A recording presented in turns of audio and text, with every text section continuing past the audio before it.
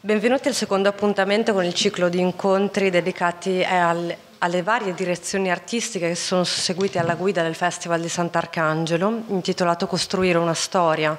L'abbiamo chiamato così proprio per rimandare all'idea di un racconto che naturalmente è personale, mette al centro chi negli anni ha guidato, ha creato il festival, però anche di un racconto che è pubblico, come vediamo, e condiviso, in un momento di confronto sulla memoria che è individuale, che è anche collettiva di noi che ci ritroviamo qui, che ci accompagnerà con delle cadenze, con dei vari appuntamenti fino alla cinquantesima edizione del Festival di Sant'Arcangelo nel 2020.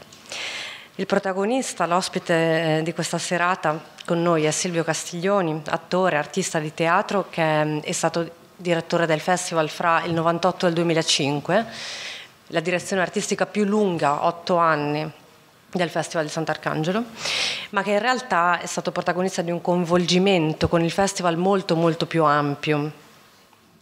Passa dalla codirezione all'epoca di Leo De Berardinis tra il 94 e il 97 eh, attraverso ruoli di varia natura e, e di, in varie modalità che risale addirittura fino all'epoca del teatro di gruppo negli anni 70. Per inaugurare questi incontri di solito la prima domanda che faccio, che ho fatto ai direttori che ho incontrato anche privatamente, è come sono arrivati al festival. Quindi come um, un direttore vedeva il festival prima di assumere la direzione artistica, per creare un po' un paesaggio su cui questa esperienza va a innestarsi, una visione, no? È una domanda che nel caso di Silvio assume un valore ancora più, più, grande, più importante per via del suo lungo coinvolgimento col Festival di Sant'Arcangelo e quindi vorrei partire, eh, se tu sei d'accordo naturalmente.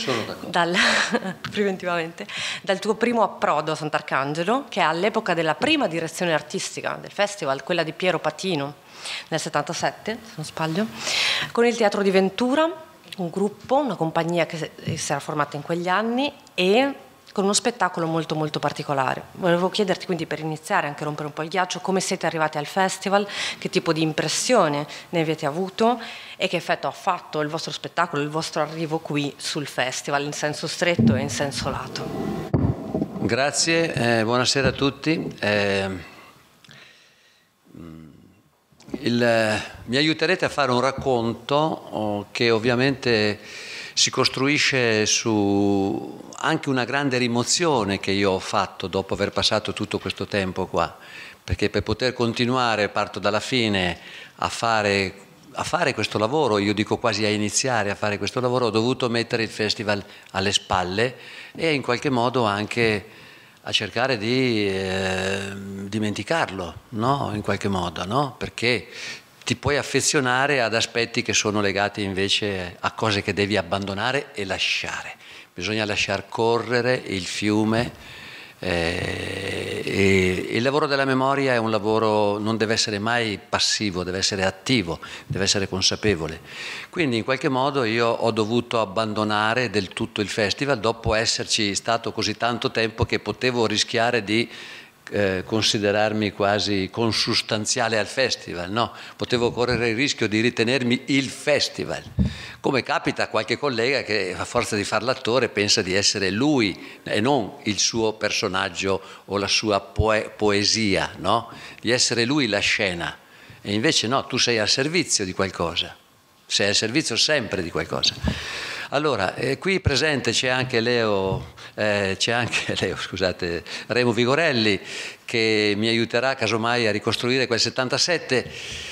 Noi siamo arrivati qui perché era mancata una compagnia, era saltata una compagnia nel programma di Patino, nel frattempo esce un articolo di Cesare Garboli sul Corriere della Sera e questo articolo parlava del detto del gatto lupesco uno spettacolo che noi avevamo poco prima presentato eh, in un festival di teatro medievale a Viterbo. Viterbo.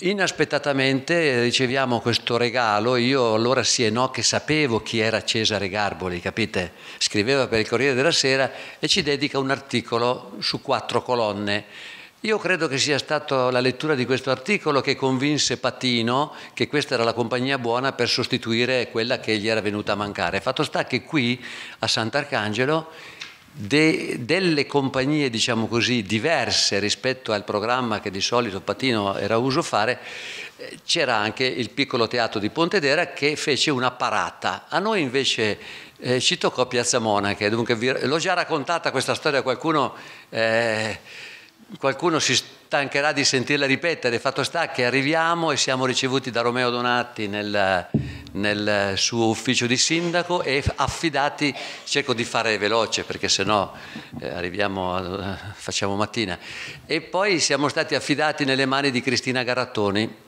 che oltre a indicarci dove avremmo dovuto andare a mangiare, ci ha portato subito dopo a Piazza Monache. Nel palco costruito a Piazza Monache, la piazza pendente, dove, sapete, si costruiva quel palco in quel posto scosceso, e ci viene indicato il palco come il posto dove noi avremmo dovuto rappresentare il detto del gatto lupesco. Io, Remo, Ferruccio, Pasquale e Robbi ci guardiamo e facciamo anche così, non diciamo nulla, perché se, se, se, se cominciamo a porre problemi adesso, qui non andiamo da nessuna parte, perché noi sapevamo da subito che su quel palco noi non ci potevamo stare. Lo spettacolo che noi eravamo venuti a portare qui era uno spettacolo che si svolgeva in un'area diciamo aperta con il pubblico sui tre lati e non poteva prevedere che noi facessimo uno spettacolo su quel palcoscenico. Fatto sta che noi mettemmo le sedie sul palcoscenico, sul, sul, sul palco, no? e ci adattammo praticamente nello spiazzo davanti al palcoscenico. La cosa sorprendente di Sant'Arcangelo, per cui eh, noi eravamo convinti che ci avrebbero cacciato immediatamente, no? Invece non successe niente di tutto questo. Probabilmente Cristina l'abbiamo chiamata, gli abbiamo raccontato il nostro problema e insomma in qualche modo qui non hanno fatto una piega questo io lo attribuisco un pochettino, è un segno di un DNA, no? Questi romagnoli si saranno detti, ma vediamo un po' che cosa combinano questi qua, no? Tutte le cose si sono svolte prima a modo, qui ci stanno gli spettatori, qui ci stanno gli attori e quindi ce l'hanno lasciato fare. Il fatto che ce l'avessero lasciato fare era il segno probabilmente di qualcosa che già serpeggiava sotto il festival. Poi la storia, la, la, la, se vuoi arriviamo subito all'anno successivo, no? la storia si, si, concretizza con il fatto che Bacci viene indicato da, da Romeo Donati come il prossimo direttore e quell'inverno, l'inverno che va dal 77 al 78, noi eravamo allora reclutati da Eugenio Barba Eravamo, come dire, facevamo parte del cosiddetto terzo teatro, eravamo uno dei gruppi di riferimento del terzo teatro, anche se e Remo mi aiuterà, a, mi correggerà se sbaglio, eravamo fra questi i più indisciplinati o i meno allineati o i meno ligi alle cose che si devono fare per dirsi reclutati da, dal movimento.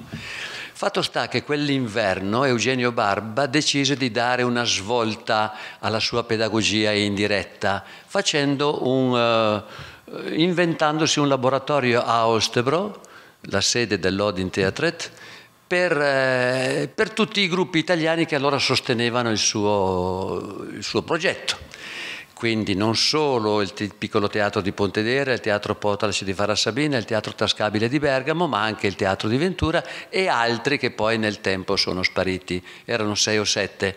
Eh, allora la regola era che il regista andava lì con un attore, Ok, infatti toccò a me e non a, a, Remo a passare questi 15 giorni a Ostebro. Per la precisione devo dire che lavoravamo di notte perché questi staccanovisti di danesi avevano due o tre spettacoli che occupavano tutte le sale durante il giorno e noi lavoravamo dalle 11 di sera alle 4, alle 5, alle 6 del mattino. Eh? E eh, negli intervalli fra, um, mi ricordo che passavamo tutto il tempo nella, nella hall di, di, del, del, teatro di, di, Ostebro a chiacchierare del più e del meno anche con Else Marie, che è un'attrice di riferimento dell'Odin di allora, che ci dava i consigli giusti per riuscire a lavorare bene con Barba, e Bacci cominciò a parlarci di Sant'Arcangelo, che noi conoscevamo già, come di un progetto che si sarebbe dovuto realizzare nel 78 e quindi un po' di notte e un po' nel pomeriggio mettemmo a punto quello che poi divenne il Festival del 78, quello che poi diede, che, che si intitolava La città dentro il teatro. No?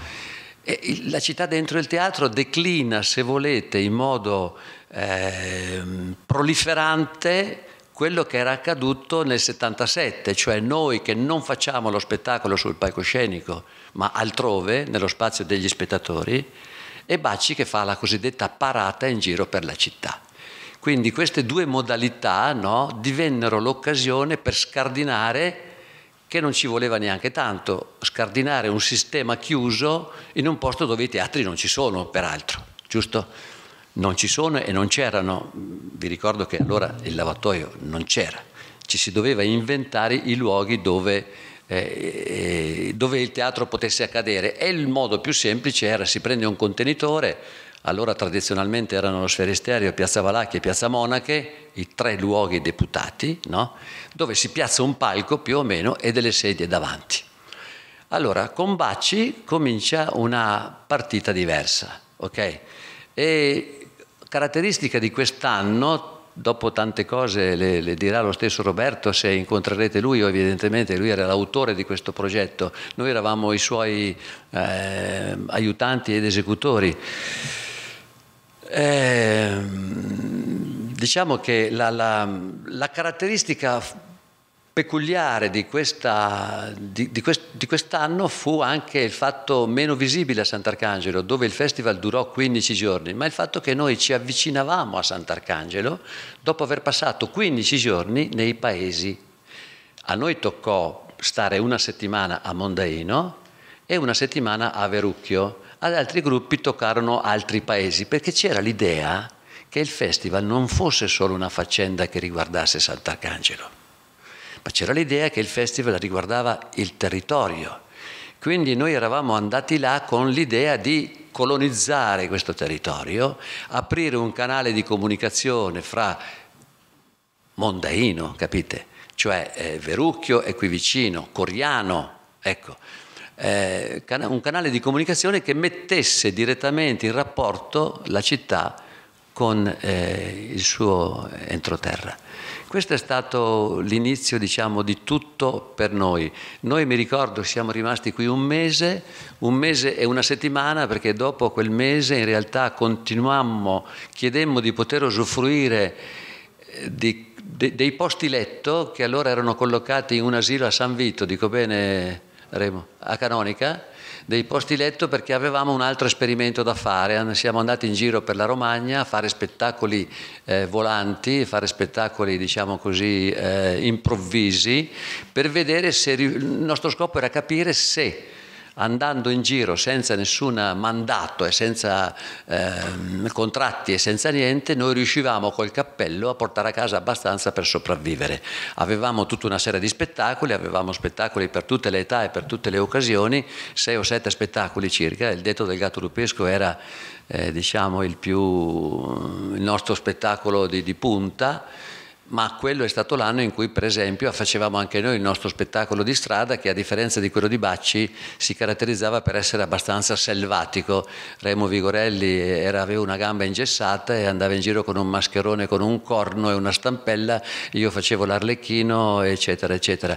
E questo spettacolo di strada si chiamò La tragedia dell'arte che è stato un lavoro che per noi è stato molto molto importante perché eh, abbiamo imparato molto noi come attori da, quella, da quell'esperienza. Ci sono alcune foto che ci ritraggono in luoghi deserti, foto di Verucchio, no? l'abbiamo fatto per pochi gatti, per 4-5 persone, ecco, rifugivamo un po' dalla, dall'esibizione plateale anche perché non avremmo saputo come gestirla la grande platea e quindi era un modo per stare, per quanto mi riguarda, per tornare a stare in campagna perché eh, questo, eh, di questo si trattava. Questo è stato l'inizio di, di tutto quanto. Eh, se vogliamo fare un altro passettino, eh, dopo questa esperienza eh, venne a galla il fatto che eh, noi eravamo dei quattro gruppi che ho nominato prima, quelli che non avevano una sede di lavoro fissa, noi venivamo da Treviglio, provincia di Bergamo, eravamo nati al CRT di Milano, poi emigrati a Treviglio. A Treviglio andavamo a mendicare un posto dove lavorare ovunque, prima nella sede di un coro.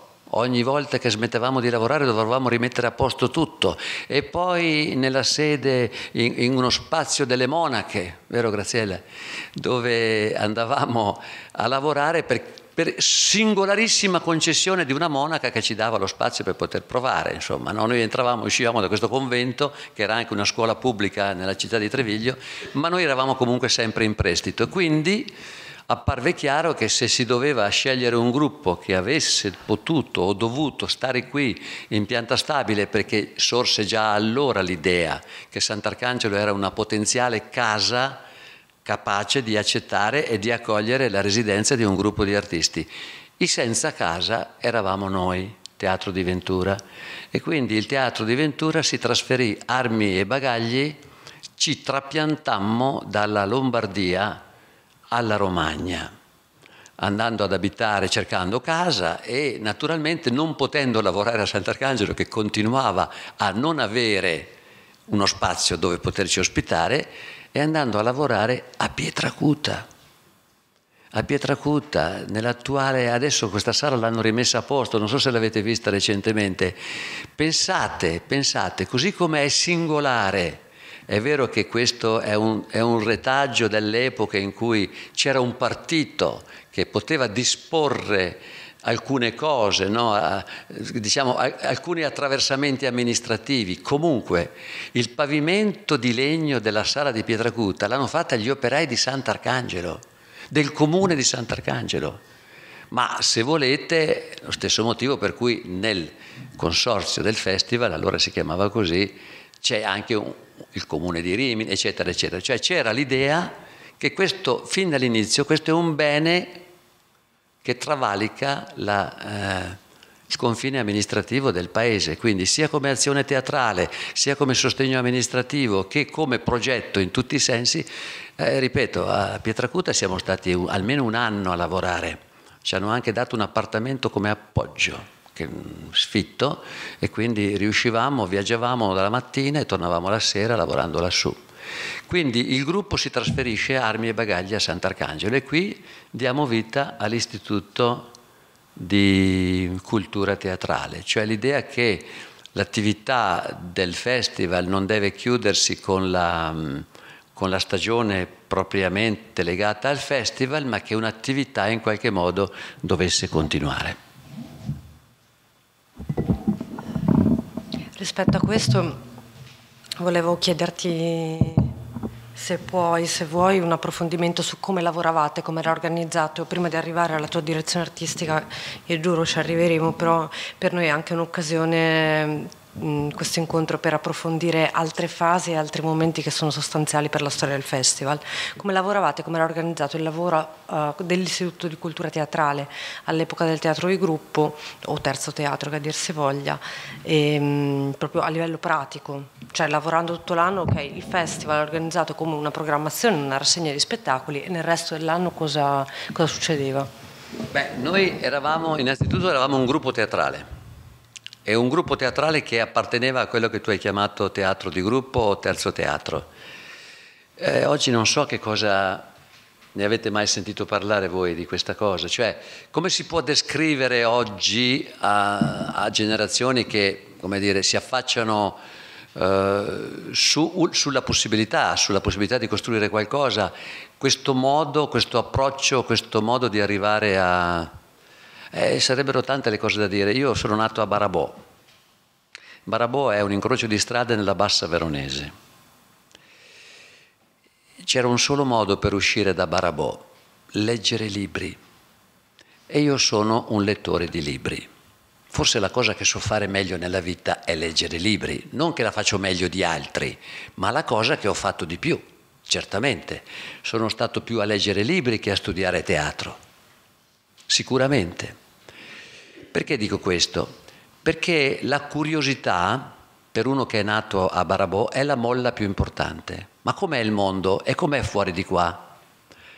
Ok, io mi sono iscritto poi a filosofia a Milano e ho frequentato l'università di filosofia, ma quanto prima ho cercato una strada per mh, mm, creare un'area di lavoro che mi potesse mettere nelle mani qualcosa eh, di concreto. Qui lo so, mi rendo conto che sto usando gli aggettivi un po' a caso. Fatto sta che Barba è arrivato nel momento giusto. Abbiamo visto Minfarsus, Minfarsus ci ha incendiato, io l'ho visto 13 volte Minfarsus e ho fatto carte false per poterlo organizzare ovunque. No, Minfarsus è lo spettacolo, diciamo così, eh, del loading che per me è stato decisivo in qualche modo. E, Minfarsur significa la casa del padre, era uno spettacolo dedicato a Dostoevsky nel quale in realtà di parole di Dostoevsky ce ne saranno state 30, 40 e nient'altro. Non c'erano altre parole. Questo era Minfarsus. Qualcosa di molto paragonabile a un temporale. Ora voi capite che lo spettacolo teatrale all'epoca gli spettacoli teatrali di quest'epoca non assomigliavano a un temporale, assomigliavano a degli spettacoli teatrali, no, convenzionali, diciamo così. No? Questo temporale mi ha e ci ha scardinato e quindi abbiamo deciso di metterci a lavorare come si fa, come si fa. Eh, non avevamo scuole di teatro, io sono stato lì lì per entrare alla civica, poi ho avuto paura di fare il provino, o meglio ho detto che le cose che facevano non mi piacevano, qui la, strada, la favola è quella della volpe dell'uva, no? E quindi, e quindi, il teatro che vogliamo fare ce lo facciamo noi. Incoraggiati da Barba abbiamo cominciato a fare un lavoro quotidiano. Qui devo dire un'altra cosa che è poco contemporanea ma che appartiene alla mia vita. Noi non sapevamo come si fa. Io non so come si fa. Non abbiamo Leo avrebbe detto tanti anni dopo, l'attore non ha giustificazioni. Mai. Se tu vuoi fare qualcosa, devi farla. Se tu hai bisogno di fare qualcosa, devi farla. Ti vai a prendere quello che ti serve e la fai. Su questo tema che noi non sapevamo come fare, si collega a un altro tema legato a De Berardinis, al, al, teatro, al cosiddetto teatro che rispetta il diritto dello spettatore a essere ignorante, che non, che lo, non che lo blandisce perché è ignorante, ma che rispetta il diritto che lo spettatore ha di essere ignorante. È venuto, è venuto qui stasera, quindi adesso tocca a te lavorare con lui. Come diceva Leo, trattare il suo organo poetico te lo affida e tu lo devi allenare questo organo poetico. Io collego le due cose perché non avendo fatto una scuola di teatro non me ne vanto, io insegno nelle scuole di teatro adesso, ma non me ne vanto. Perché fare una scuola di teatro significa condividere con dei coetanei delle fatiche, dei, dei, dei percorsi, ehm, eh, superare insieme delle difficoltà, fallire e rialzarsi, cadere e rialzarsi. Quindi eh, so benissimo eh, che è una ricchezza straordinaria, ma evidentemente una delle malattie che non ho potuto prendere è l'accademia. Io eh, l'accademia non so com'è, com'è, dov'è, cos'è. Quindi noi come teatro di gruppo, in qualche modo, abbiamo fatto come ci pareva giusto fare. Eravamo disposti a tutto per realizzare un po' enfaticamente, si potrebbe dire, il nostro sogno, che è la nostra voglia di fare, di lavorare.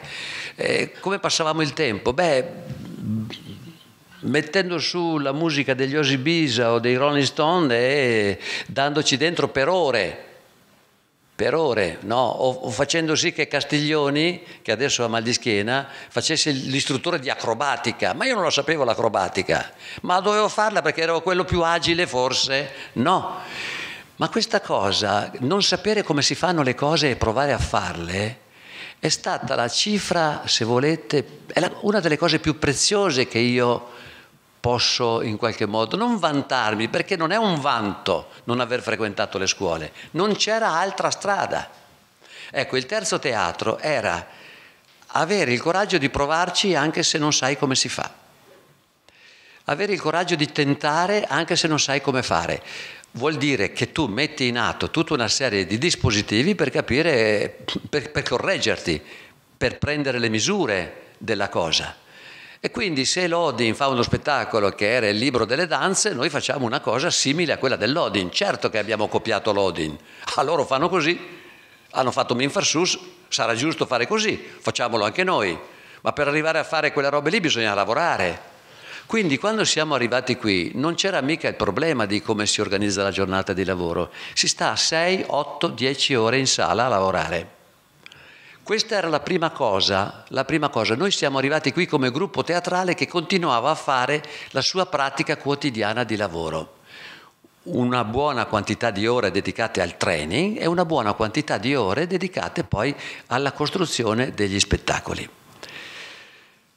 Eh, l'attività legata invece allo stare qui, quindi legata alla, um, all'Istituto di Cultura Teatrale, beh, è la cosa diciamo visibile che adesso io Posso citare solo, cioè, ci siamo cavati delle voglie, cioè siamo, abbiamo capito che quello era un modo, uno strumento, un'occasione per avvicinare eh, persone o maestri, il tema dei maestri poi verrà a galla. Allora, quelli sono gli anni in cui anche Grotowski, qualcuno di voi se lo ricorda, eh, che non poteva più rientrare in Polonia, prima di essere adottato da Pontedera, passa due anni qui in campagna ed è stato, sono, sono stati gli anni in cui io ho avuto l'opportunità, abbiamo avuto l'opportunità di conoscere Grotowski, non così da vicino come avrei avuto invece dopo quando ho lavorato a Pontedera. Là ho avuto un rapporto molto più ravvicinato, diciamo. Eh, Grotowski è autore di una frase che mi ha sempre colpito. Allora, eh, erano gli anni in cui era appena sorto il DAMS. Non so in che anni sorge il DAMS. Ecco, diciamo il DAMS era sulla cresta dell'onda, no? E una delle parole, diciamo, che correvano in quegli anni era la parola comunicazione. Intorno alla parola comunicazione si creava un'enorme quantità di pensieri, di progetti. Di... E io mi ricordo una battuta di Grotowski una sera, lui parlava rigorosamente in francese, io ve la dico in italiano perché non saprei neanche... Ma comunicazione, comunicazione, ma perché avete tutti in bocca questa parola comunicazione? Due cose contano fa. Fare la cosa che è veramente importante per te fare e questo comunica. E qual è la cosa più importante per te fare? Qual è l'eredità dei tuoi antenati. Gli antenati, che c'entrano gli antenati? Tu sei qui, sei vivo, qual è il testimone che tu devi passare a qualcun altro? E, e, e, questa cosa degli antenati, e del, delle, se volete, delle radici, ma delle radici a livello antropologico profondo, no? è una cosa che mi ha sempre molto colpito ed è stata sempre un, un eh, chi sono i suoi antenati? Mi domando sempre quando vedo qualcuno, anche in scena. Da dove viene quello lì? No? Io sono figlio di contadini e non, lo, non, lo, non, non, solo non lo posso nascondere, ma eh, non è questo il fatto, non è che sono contadini, ma è la radice profonda, la radice, che cosa hai ricevuto? C'è un libro di Recalcati che parla di, adesso è una star, mi dicono recalcati ormai, ma che parla dell'eredità, no? Cioè, nessuna eredità ti viene regalata, te la devi conquistare l'eredità. Quindi devi sapere che cosa ricevi e da chi, e da chi la vai a prendere. Qui entra il tema delle, della cosiddetta maestria, no?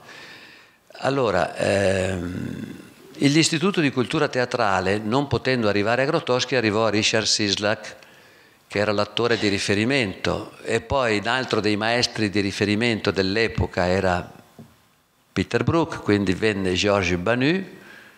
Eh, è un'altra, è un'altra, iniziativa significativa, per que- forse la più emblematica di quel periodo, è stato un progetto a livello regionale che si chiamava Maestri e Margherite dove mutuando il titolo del famoso romanzo di Bulgakov, no, viene a galla il fatto che ci sono i maestri e le margherite che sono i, i, gli allievi no? o, o, o, i giovani che dai maestri vogliono prendere. E la maestra, la, Marghe, la, la maestra che abbiamo invitato noi era Katsuko Azuma nel frattempo, per darvi un'idea, eh, Barba stava eh, razionalizzando il suo progetto didattico, aveva creato l'ISTA, l'International School of Theatre Anthropology, e queste sedute dell'ISTA erano annuali o biennali, si svolgevano e lì c'è stato, diciamo così, l'incontro con la eh, pedagogia strutturata modello barbiano, cosa che secondo me, ma questa è una mia analisi, non ci ha fatto bene perché ci ha un pochettino disabituati a lavorare in compagnia della nostra ignoranza. Giusto? Tu sei abituato a imparare a camminare da solo, poi arriva uno che ti dice no, devi muovere il quadricipite, attenta perché se muovi il quadricipite prima dell'altro... No, aspetta, scusa. L'innesto fra un sapere che si voleva, diciamo così, più eh, consapevole e il sapere che noi avevamo ricavato dal nostro non saper fare le cose ma se tu non sai fare le cose, è un po' come il mio Arlecchino, vero Remo? Io mica ho studiato da Arlecchino, mi chiamavano Arlecchino perché parlavo in, dia- in dialetto e facevo delle cose strane e avevo una maschera che rassomigliava a quella di, di, di Sartori, ma eh, se mi chiamano Arlecchino, siccome mia mamma mi diceva se ti domandano qualcosa nel mondo non scontentarli, io non li scontentavo, sono Arlecchino, va bene, faccio Arlecchino. Quindi in qualche modo date certe condizioni si creano certi risultati o certi presupposti. Ecco, il lavorare senza sapere, senza un progetto chiaro in testa o razionalmente consapevole, ci ha dato molto, almeno a me ha dato molto. Poi naturalmente il gruppo a un certo punto ha finito la sua corsa, forse è stato un bene con gli occhi del poi, posso dire così, perché tutti gli altri gruppi che hanno continuato invece la loro corsa, si sono identificati con la forma che quell'azione aveva preso in quel momento. Voglio dire che quasi tutti i gruppi nostri contemporanei hanno replicato se stessi, un po' come i comedians. Nel eh, vent'anni dopo Rita, l'84, l'anno in cui i comedians hanno incendiato il paese, l'ultimo festival di Sant'Arcangelo, come lo chiamò Bacci, i comedians arrivano a San Leo. A San Leo i comedians. E io dico, adesso porto due ventenni a vedere i comedians, così gli posso far vedere. E siamo rimasti di sasso, perché loro non capivano come noi ci fossimo innamorati di quella roba lì, ma loro replicavano se stessi, ma avevano vent'anni in più. Non hai più vent'anni, Jaumet, ne hai 40, sei babbo o forse nonno. E quindi se tu continui a fare la cosa che facevi a vent'anni sei quasi ridicolo. Ecco. Eh, il rischio che hanno corso gli altri gruppi che probabilmente erano più... perché noi eravamo disgraziati forti, avevamo anche un, un contributo ministeriale. Non so se Remo si ricorda quell'anno che invece di 60 borderò gliene abbiamo portati 59. Mi ricordo che ci hanno chiamato a Roma, ma si può, 59, ma ma eh, non, non potevate risolvere, potevano dirci arrivate con 60, no? Ci sono tanti modi per arrivare con un borderò in più. 59. Quindi eravamo anche un po' sciagurati, anti-istituzionali anche per un po' di insipienza, non che ce ne vantassimo, però insomma dai, si poteva far meglio. Fatto sta che il gruppo poi si è in qualche modo sciolto, eh, ognuno è andato per la sua strada, io poi ho continuato a fare il lavoro, ma il periodo dell'Istituto di Cultura Teatrale era un'occasione per noi, adesso io, è molto soggettiva questa testimonianza, eh? per me che sono il curioso, quello che continua a essere curioso, nato a Barabò e che vuole sapere come funziona il mondo, io conoscere Georges Banu, non era ma male, capito? Avvicinare Richard Sislak o, o, avere la possibilità di lavorare con Katsuku Azuma, che per me è stato uno degli incontri dal punto di vista professionale decisivi della mia vita. Io mi ricordo ancora questo stage che facemmo insieme. Sapete che la vita è l'arte degli incontri, che poi dipende dagli incontri quando li fai, no? Se li fai al momento giusto. Beh, quello è stato un incontro fatto al momento giusto. Quindi l'Istituto di Cultura Teatrale molto soggettivamente e molto anche eh, era un'occasione per cavarsi delle voglie, per eh, esplorare e per realizzare delle, soddisfare delle curiosità. Ecco. Prima di arrivare, e prometto che ci arriveremo a breve, al momento della tua direzione artistica, c'è un altro passaggio che vorrei che affrontassimo insieme, che è quello del rapporto con Leo De Berardinis, di cui sei stato, anzi perché Silvio decide di restare in Romagna, cioè anche oltre l'esperienza del Teatro di Ventura, dell'Istituto di Cultura Teatrale, si ferma qui. E a un certo punto continuando da quello che mi hai detto anche a collaborare con il festival eccetera a un certo punto Leo De Berdins ti chiama come condirettore.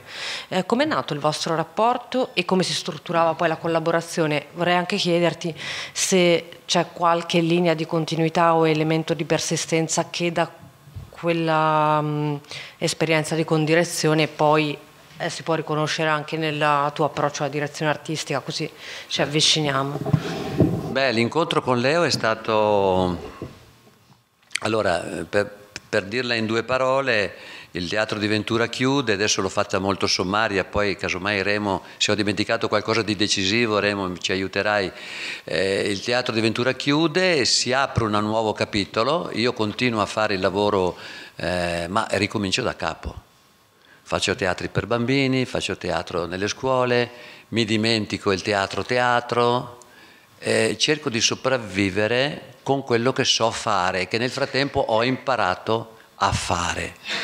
Era nato un arlecchino, dall'arlecchino ho cercato di estrarre tutto il possibile per vedere, visto che Meldolesi lo, gli piaceva tanto il mio arlecchino, mi chiamava sempre arlecchino Claudio. Eh, e, e, e io praticamente pur continuando a vivere a Sant'Arcangelo, con Graziella abbiamo messo in piedi un'attività che si chiamava Teatro di Ventura 2, possiamo chiamarlo, no? eh, e abbiamo cominciato a fare spettacoli nelle scuole, spettacoli diciamo, di teatro ragazzi, eh, di vario genere. Poi eh, il festival continuava la sua strada, nell'88 viene qui un certo Raul Ruiz, che, con un progetto che si chiamava lo schiavo del demonio, ovvero l'origine sportiva dello Stato.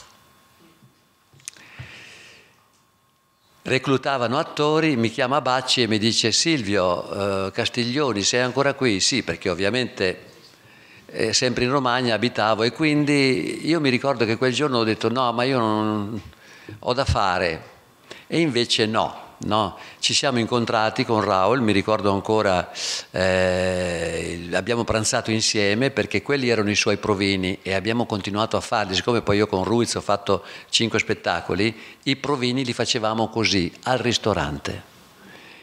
Eh, si chiacchierava, si parlava, si stava insieme alle persone e dopo che eravamo stati insieme si decideva se queste erano persone con cui avremmo potuto lavorare con profitto reciproco, perché questo era fondamentale per Leo, profitto reciproco.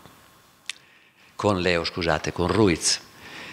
Eh, gli altri reclutati nello spettacolo con Ruiz erano quasi tutti gli attori di Leo quindi Marco Cavicchioli, Elena Bucci, Marco Sgrosso, c'era anche Andrea Renzi, quindi ho conosciuto tutta la pattuglia e siccome c'era anche Francesca Mazza, la donna di Leo, Leo guardava tutte le prove, dalla prima all'ultima. No? E quindi siamo diventati amici, in qualche modo ci siamo affratellati, dai, io ero molto curioso, avevo visto un paio di spettacoli suoi, e per me era inarrivabile in qualche modo, no? Mi aveva molto colpito il suo Leopardi, e, e, e, e, nacque una conoscenza. L'anno successivo eh, Ruiz è incaricato da Franco Quadri, allora direttore delle Orestiadi di Gibellina, di un progetto a Gibellina. E il progetto era eh, la scoperta dell'America. Mio fratello, che sarebbe poi venuto a vederlo, a Ruiz ha detto la scoperta dell'America è stata molto meno complicata del vostro spettacolo. A Gibellina abbiamo lavorato, Ruiz mi fa, abbiamo i soldi, 300 milioni, solo che 160 dobbiamo spenderli per le comparse di Gibellina. perché l'uso era questo bisognava coinvolgere le maestranze, no? E così abbiamo preparato questo progetto, che tra l'altro è un progetto gigantesco, vi parlo di sei ore di spettacolo, una roba del genere, nessuno di voi l'ha visto, credo, no? Si faceva in due spazi, le, le, i ruderi e le, il Baglio di Stefano, che è un'altra località che c'è invece vicino alla Gibellina Nuova. Eh, ed era così, 150 comparse, eh, diversi cavalli, una, una, caravella che saliva sul monte, dei tamburini spagnoli venuti apposta dalla, dalla, dalla Spagna, di Calandra, vestiti rigorosamente di viola, cosa che ha fatto inorridire Leo naturalmente. No? E Leo De Berardinis e Franco Scaldati, mai dimenticato Franco Scaldati, facevano due cammei dentro lo spettacolo, due assoli, no? Leo, adesso non, non, ve li racconto se no non finiamo più. E, e, e, in quell'occasione credo che Leo, io gli sia venuto in mente quando viene nominato direttore del festival, perché praticamente io ero eh, l'aiuto regista di Raul, cosa vuol dire? Che passavo molte ore con lui a tradurre i testi, poi vi parlo dell'altra questione legata alle parole che sono molto importanti nella mia vita, lo sono nella vita di tutti chiaramente, no?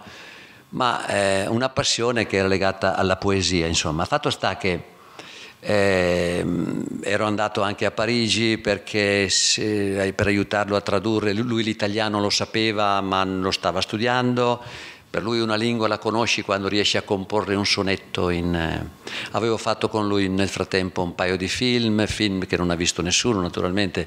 Avevamo fatto uno spettacolo insieme a Pontedera, eccetera, eccetera. Quindi era nata con Leo, oh, scusate, con Ruiz una...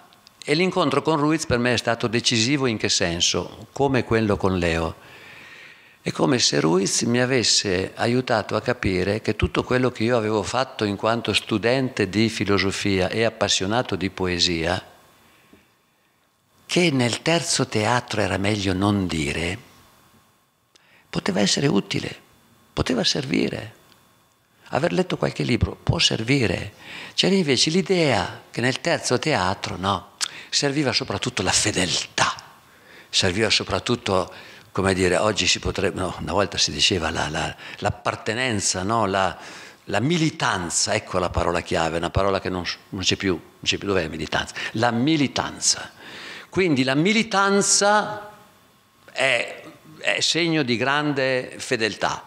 E se uno mostra delle crepe, quello era il teatro estetico, il teatro di Tiezzi, il teatro di, di, di falso movimento, di Martone, no? il teatro della Gaia Scienza, ok? Quello era il teatro, eh, come dire, a, a, a, pericolosamente eh, poco allineato, diciamo così.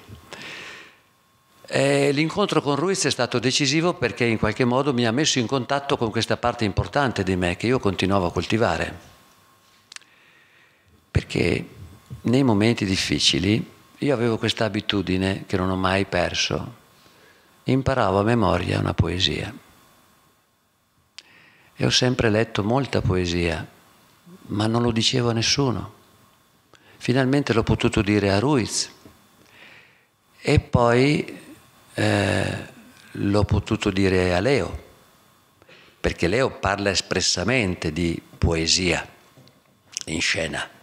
La poesia non è solo che si scrive in versi, eccetera, eccetera, ma l'impianto poetico è una radice profonda e radicale in qualche modo, no? E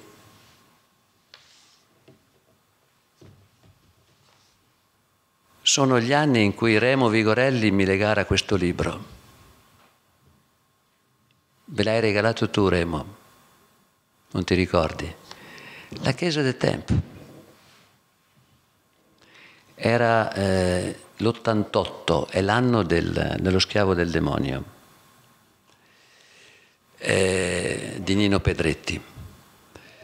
E mm, mi sono perso. Dov'è che... Lui se leva la poesia. Ah sì, eh, quindi ah, per, perché Leo mi chiama? Presumibilmente perché a Gibellina io ero il capo comparsa, l'aiuto regista, recitavo nel ruolo di Pissarro, praticamente dormivo un'ora e mezza, due per notte e tutto stava in piedi perché sembrava che lo tenessi in piedi io. Non è vero. Avevo imparato alcuni trucchi. Il primo trucco con le comparse è quando ti fanno 700 domande se è vero, tu devi rispondere sempre sì. Sì. E quindi io, rispondendo sempre sì e prendendomi la responsabilità delle risposte sbagliate, siamo riusciti a portare a termine quella gigantesca impresa. E Leo probabilmente è rimasto impressionato, pesavo una decina di chili in meno, eh, ma vi assicuro è stata un'esperienza molto molto formativa. Eh, I ruderi di Gibellina sono a 20 km dalla Gibellina nuova, eh, bisogna arrivarci là è stata un'esperienza straordinaria anche perché eh, le comparse a un certo punto minacciavano uno sciopero e noi avevamo pochissimo tempo per chiudere lo spettacolo e Ruiz ha fatto un gesto geniale. A parte che lui aveva una politica, sapete che lui era direttore dell'ufficio cinema nel, nel chissà se l'ultimo Nanni Moretti, direttore dell'ufficio cinema del, da, nel governo Allende, aveva 26 anni, no? Quando c'è il colpo di Stato di Pinochet, lui ripara con la moglie in Argentina e poi arriva in, a Parigi. È mancato qualche anno fa. E mi diceva, mi dava dei consigli del tipo, quando ti chiedono quanti soldi vuoi, tu dire mm, non meno del vostro direttore tecnico. Non sparare cifre, tu prendi no, eh, il punto di vista del direttore tecnico, quindi ti metti allo stesso piano, non più in alto, sullo stesso piano. E siccome ai ruderi c'erano 180-190 persone che lavoravano e a volte succedevano incidenti, era notte e poteva essere pericoloso, lui da sempre aveva chiesto un'ambulanza lì un, un, presidio medico efficiente e non ce la davano. E allora lui a quattro giorni dal debutto ha deciso di fare sciopero. Oggi non si prova, ha anticipato lo sciopero delle maestranze, da quel momento lo hanno adorato e abbiamo lavorato 18 ore al giorno per finire lo spettacolo. E questo era Raul. In quell'occasione probabilmente Leo ha capito che forse gli potevo servire come condirettore a Sant'Arcangelo, cioè come diciamo eh, capacità organizzativa, boh, nel rapporto con le persone, forse sì, penso di sì. Eh, poi di fatto quando abbiamo cominciato a lavorare insieme qui, la parte più specificamente organizzativa del, della, della squadra di Leo l'ha assunta in pieno Paolo, no? Ah, Paolo Ambrosino, eh, che anche lui non, non, è più con noi. E, e, ecco, così è nata forse la inaspettata telefonata di Leo, diciamo, quando è stato nominato nel 94.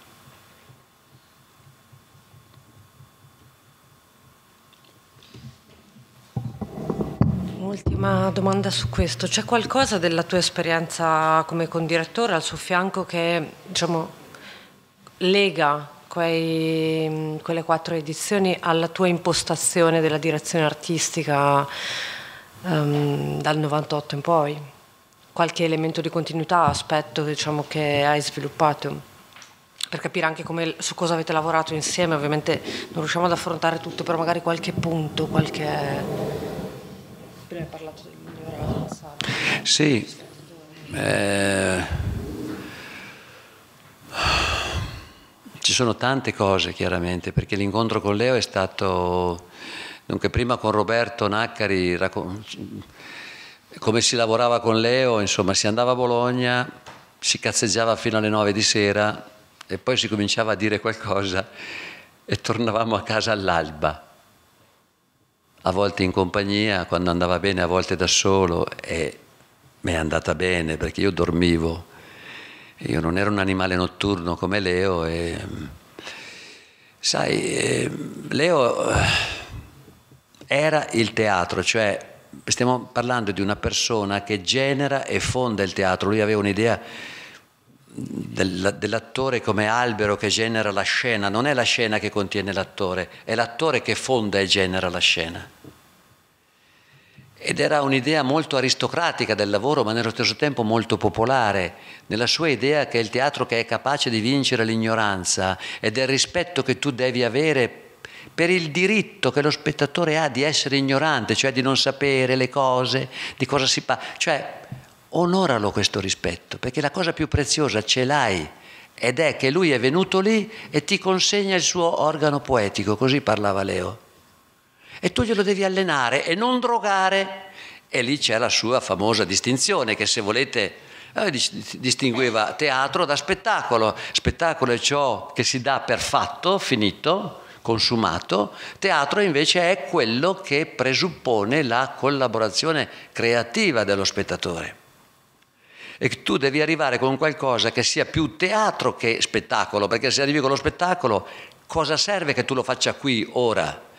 E c'era l'idea potenzialmente eversiva del fatto che l'evento teatrale è potenzialmente rivoluzionario in tutti i sensi, è uno sprofondamento, è, un abisso, una, è una mise en abîme continua, direbbero i francesi, no? Potrebbe succedere di tutto, potrebbe succedere tutto. Quindi il primato dell'evento come generatore di qualcosa che non si può dare al di fuori di questo. E questa cosa qui con Leo era molto forte.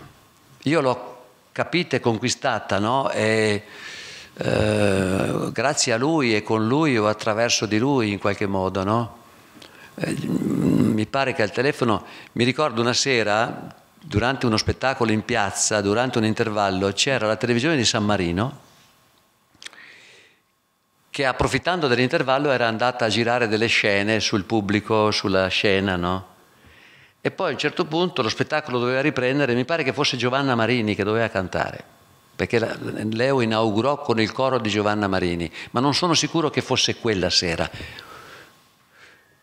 Ah, chiedono alla compagnia di aspettare 5 minuti perché devono finire delle riprese. Io l'ho sentita sta roba, sono incazzato, ho detto loro sono spettatori, non sono, non sono, le comparse del vostro documentario, sono gli spettatori, quindi loro sono fondatori dell'evento.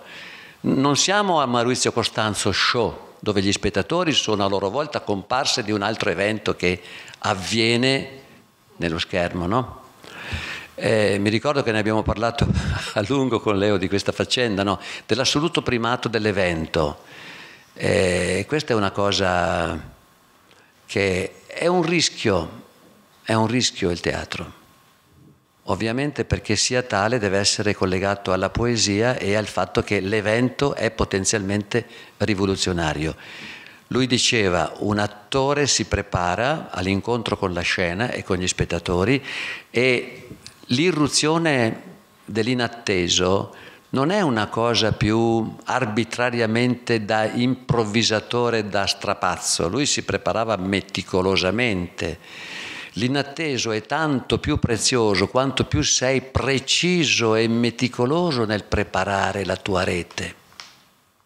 Quindi non c'era una confusione, non c'era l'approssimazione. Mi ricordo che ne parlai con Lea, una volta è venuto in Italia Patrice Chéreau. Più volte è venuto in Italia Patrice Chéreau, aveva fatto un'intervista sul Corriere della Sera, mi ricordo ancora la discussione che ho fatto con Leo, e l'intervistatrice gli fa le domande, Chéreau è stato un grande regista francese, no?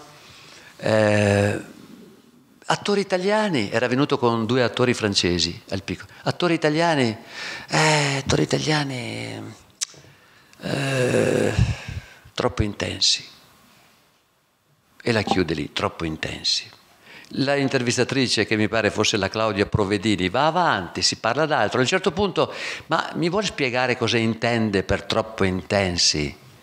E lui, pigri, non lavorano abbastanza, se la vogliono giocare quando sono in scena e basta. E quindi come posso lavorare così?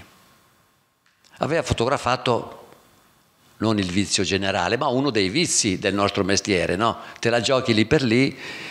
E mi ricordo che Leo la sottoscriveva in pieno questa cosa qua, no? eh, proprio perché può succedere di tutto, ti devi preparare. E Grotowski, cito un altro maestro, visto che a un ragazzo che gli chiedeva, anche questa l'ho ascoltata con le mie orecchie, non si riferiva la domanda a uno spettacolo dei suoi, ma lui era presente, era, uno, era, un nostro spettacolo, quello che avevo fatto con Bacci, e il ragazzo era una scolastica, dice, ma voi domani lo fate uguale a oggi? E Grotowski dice, cioè noi rispondiamo sì perché dai è un concertato, è una struttura e così via. E Grotowski prende la parola e dice, e poi loro hanno lavorato molto per guadagnarsi questo privilegio, due punti. Hanno messo a punto un dispositivo così preciso che domani riusciranno a capire che cosa vuol dire essere più vecchi di un giorno riescono a misurare il passare del tempo, il passare minimo del tempo. Anche di questo ne abbiamo parlato. Eh, tu mi hai fatto una domanda, mi sono preparato un po' stasera. C'è un testo di Leo che io leggevo ogni tanto, no? Teatro e sperimentazione del 1995 che è fonte di grandi pensieri, diciamo, no? che al di là delle cose che dice relative al suo progetto di fondare una specie di teatro nazionale di ricerca, che era una sua ossessione dell'epoca, molte delle cose che sono qua dentro riguardano, eh, sono come dei... dei mm, la presenza del pubblico è essenziale per creare campi magnetici forti. E non è soltanto la quantità dei partecipanti a determinare questi campi, ma anche e soprattutto la loro qualità, perché essere ignoranti non vuol dire non avere un'adesione reale e presente, l'essere lì. E, e poi questa cosa che ho già citato, no? eh, si potrebbe dire che l'arte scenica in generale è l'unica forma d'arte in cui avviene o dovrebbe avvenire una mutazione seppur momentanea, piccola o grande, di tutti i partecipanti al processo. Eh, la conclusione di questo articolo che vi consiglio di leggere, di rileggere ogni tanto perché comunque è ricco, la conclusione mi ha sempre lasciato, eh, mi ha sempre lasciato un'impressione molto forte considerando poi la, la vicenda personale di Leo, il tentativo è quello di portare a compimento tutte le proprie potenzialità per essere pronti al silenzio.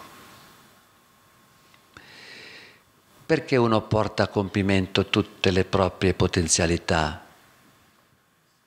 Per guadagnare, per diventare importante, per conquistare, no, per essere pronto al silenzio.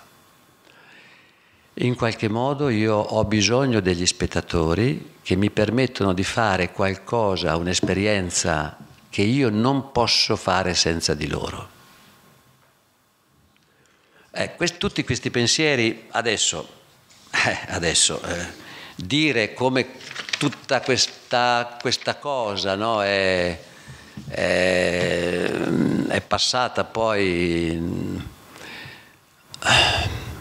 Io non ho studiato da, da, attore, ma men che meno ho studiato da direttore di festival, capisci? Cioè, adesso qui si spalanca un, un, un baratro, un vuoto. Oddio, c'era Leo qui, come faccio a riempire questo vuoto? E quindi bisognava circoscrivere. Innanzitutto ho cercato di non essere solo, sono stato anche accusato di essere stato poco solo, ma ho cercato di non essere solo in questa esperienza. Ecco. Dopo magari salta fuori qualcos'altro rispetto a questo. Allora arriviamo al 98, al momento in cui, dopo le edizioni al fianco di Leo De Berardinis, viene nominato direttore del Festival di Sant'Arcangelo. E prima di tutto una domanda un po' a pelle, un po' personale, cioè come hai reagito e cosa pensavi di fare quando ti hanno affidato questo incarico, quando hai voluto accettare questo incarico, anche alla luce di questa lunga esperienza precedente? Beh, ehm, eh, io quando mi è arrivata la comunicazione, insomma, che c'era stato un contatto e poi è diventata, diciamo, formalmente... Io ero a Brescia e stavo lavorando allo stabile di Brescia, un progetto con François Kahn su Hoffman, il signor Hoffman, il sogno e la vita. E diciamo, eh, mi sono sentito onorato e leggermente angosciato. Eh, ho, ho fatto due cose concretamente. La prima cosa è stato di chiamare Massimo Marino e sapere se lui... Sapete perché Massimo? Perché avevamo giocato insieme con le rime, perché lui veniva con noi e ci faceva da drammaturgo volante, scriveva le ottave in ottava rima e io avevo questa passione, questa folle passione per la poesia, per la poesia in rima, per la canzoncina, per, per tutto ciò.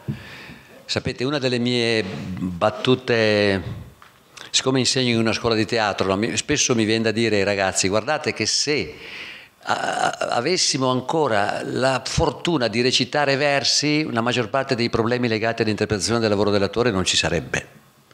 Perché una volta si scriveva in versi e nel verso è consegnata una chiave, nel verso, no? Eh, la, la, più cupa delle tragedie di Shakespeare, il Macbeth, è per l'85% in versi, nel blank, tetrametri e trimetri giambici. E questi battono, questi battono, quindi in qualche modo eh, risolvono una parte dei problemi legati alla convenzionalità e al gioco teatrale, che deve essere sempre percepibile e visibile senza che faccia perdere tanto tempo, chiaro? Che, debba, che tu non debba sprecare troppe energie, oppure che tu non pensi che non lo è un gioco teatrale. È un gioco, è una cosa seria.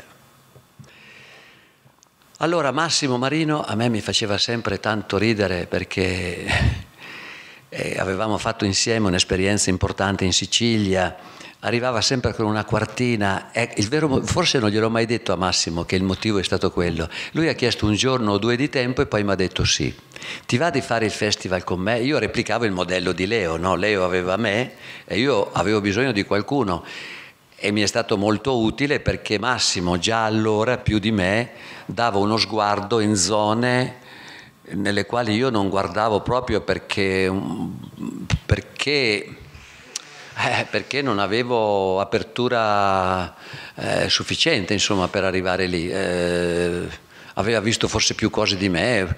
La seconda cosa che ho fatto è stato di telefonare, di chiedere il numero di Lello Ballini. Il primo spettacolo del 98 è stato Carta Canta nel senso che sapevo che era uscito questo spettacolo di Lello che io non ho mai visto tra l'altro, perché la sera che l'abbiamo fatto qui c'è stata un'emergenza che mi ha chiamato altrove e non l'ho visto.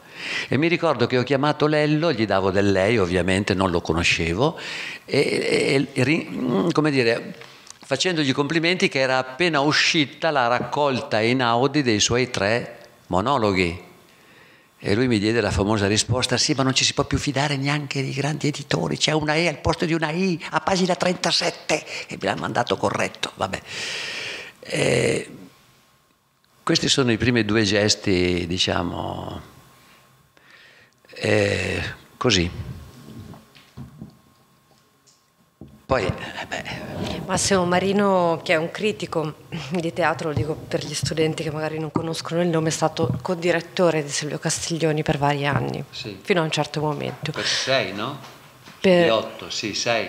Vero, a parte gli ultimi due, sì. Sei. Sì, gli ultimi due, gli ultimi due Silvia e, e Andrea, Andrea. Nanni, Silvia Bottiroli e Andrea Nanni che è anche l'inventore, è stato l'inventore massimo del giornale del festival, cioè lo strillone per eccellenza, massimo lo strillone, capito? Quello che scrive la quartina o l'ottava e la va, eh, il giornale del festival che è stato una, forse il laboratorio più, dai, eh, anche appassionante, insomma, no? è, è stato che ha avuto anche dei momenti di gloria, nel senso che abbiamo fatto quant, in quante forme l'abbiamo pubblicato, prima stampato nostro, insomma era un, un modo per tenere e far circolare i pensieri e le parole in un certo modo e per dare uno spazio che magari eh, non c'era già più sui giornali e così via. Massimo è stato l'inventore del... E poi ha... Allora, uno dei problemi che avevamo con Leo è che Leo, essendo caratterizzato in modo molto forte come artista teatrale, diffidava del teatro diverso o lontano dal suo, cosa che in quegli anni cominciava a essere stretta. Quindi in qualche modo, no, faccio un esempio, no? i Motus, che dirigeranno il festival dell'anno prossimo, quell'anno, uh, non mi ricordo quale anno è stato, forse di, sempre di Leo, fecero lo spettacolo al Museo di Rimini e Leo non ebbe il tempo di andarlo a vedere e mi ricordo che chiedemmo di poter star lì un giorno o due in più per permettergli di andarlo a vedere. E ehm, l'anno del 94 fu anche l'anno in cui venne qui la prima volta eh, Babina con resuscitato Amleto parla, rap e i sacchi di sabbia, no?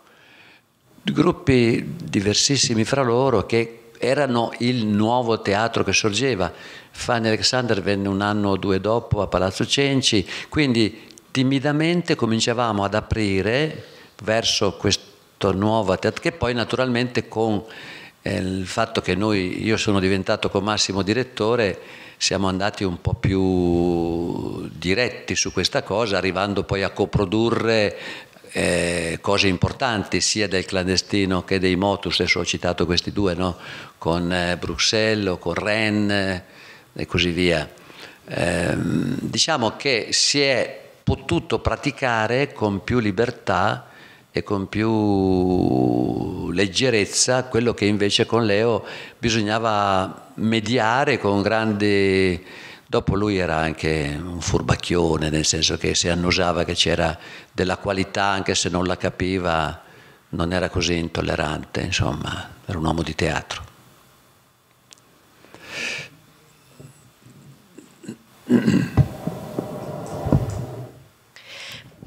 Quando mm, abbiamo parlato, abbiamo avuto alcuni incontri, alcune conversazioni per preparare questo incontro con voi pubblico, quando abbiamo parlato della tua direzione artistica, perché è così lunga, perché è così articolata e così ricca, uno degli argomenti che abbiamo uh, affrontato è stato quello del criterio, su come venivano strutturati i festival al momento di, in cui tu ne avevi la guida. E una delle cose che, che mi hai detto, che è tornata più volte, è quella della necessità di circoscrivere il campo.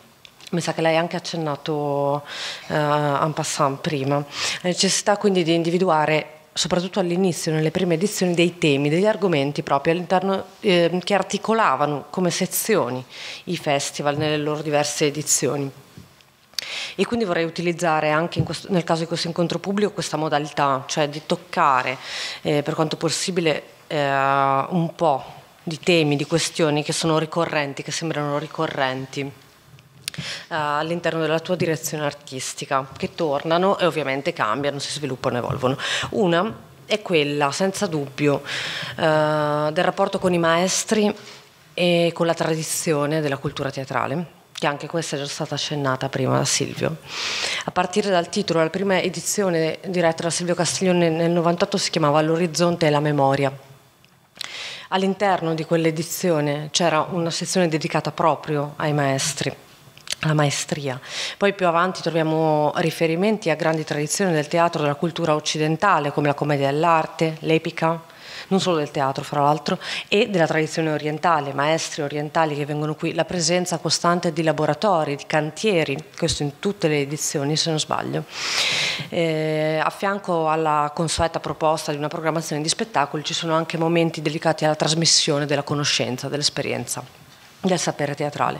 Quindi volevo chiederti le ragioni di questa presenza così consistente del, del rapporto con la tradizione e con i maestri, eh, fin dalla, dalla, prima edizione della, del tuo, dei tuoi festival e anche in realtà alcuni dei già nominati quali sono stati i tuoi maestri strettamente all'approccio alla direzione artistica, quindi gli interlocutori, i riferimenti che hai avuto in, in quegli otto anni? Beh, dunque, eh,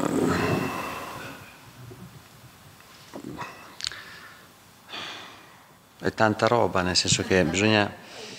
Allora, mi sono... Uh, io non so perché sono sopravvissuto così a lungo, no? Non ho studiato da direttore artistico, probabilmente c'è stata anche un po' di entropia o di inerzia in tutto questo, no? Forse è per questo che dopo una volta finito questo lavoro, dopo aver superato il rischio di, con, di identificarmi con la direzione artistica, ho dovuto fare un taglio netto dentro di me, no? Perché chiaramente per esempio gli ultimi due anni sono stati anche molto divertenti perché si è rinnovata una collaborazione, cioè si è, si è creata una collaborazione nuova con due vice direttori, poi devo nominare anche un'altra collaborazione costante che è durata tutti questi anni con Massimo Eusebio che si occupava della musica, ma di questo volevo parlare dopo magari. Eh, eh, diciamo che la fortuna è stata quella di riuscire a tenere insieme, bene o male, con tutte le difficoltà del caso, Uh, tu Roberto cosa hai fatto? Non il primo e tutti gli altri, vero? Ok, Roberto ovviamente è coinvolto adesso e non l'ultimo, è vero. E, diciamo, c'è un gruppo di persone che in qualche modo aveva una sua intelligenza, se si può dire che un gruppo ha un'intelligenza, ok?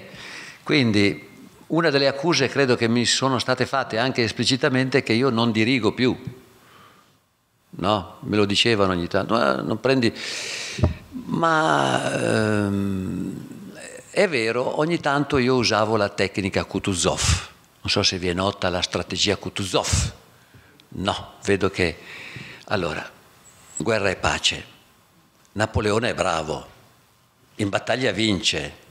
Il comandante delle truppe russe, stavo per dire sovietiche, si chiamava Kutuzov Kutuzov aveva un solo problema, convincere i suoi generali a non attaccare battaglia, rinviare, perché comunque se tu fai la battaglia, quello vince.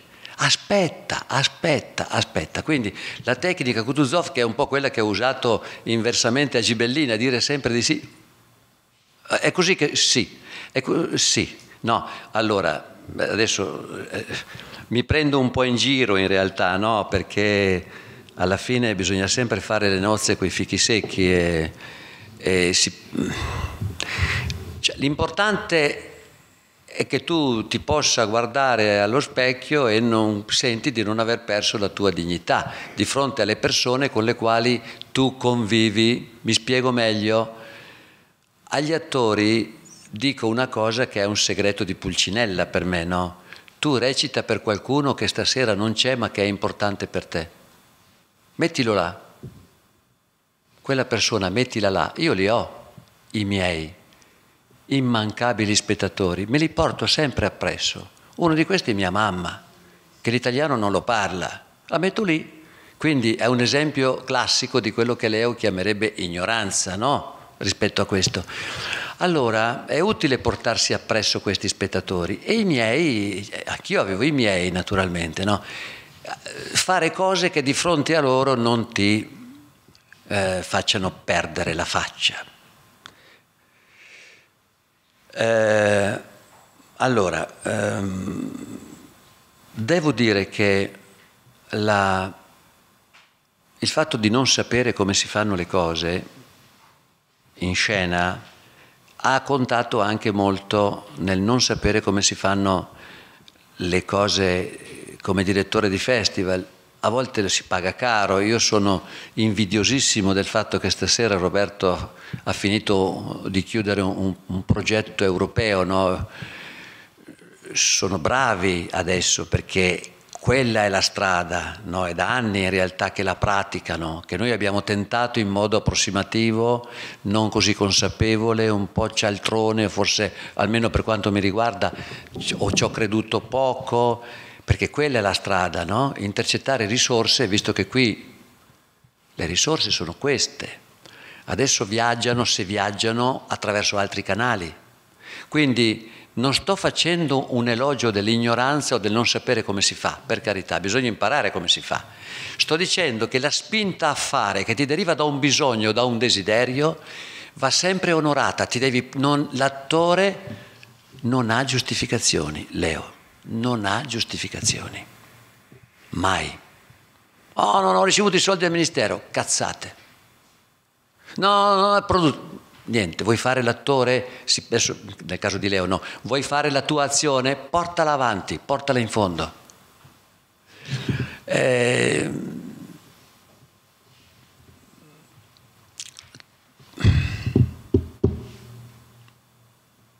mi sono incagliato. Maestri. Ah, maestri, eh beh, il, il, eh, allora,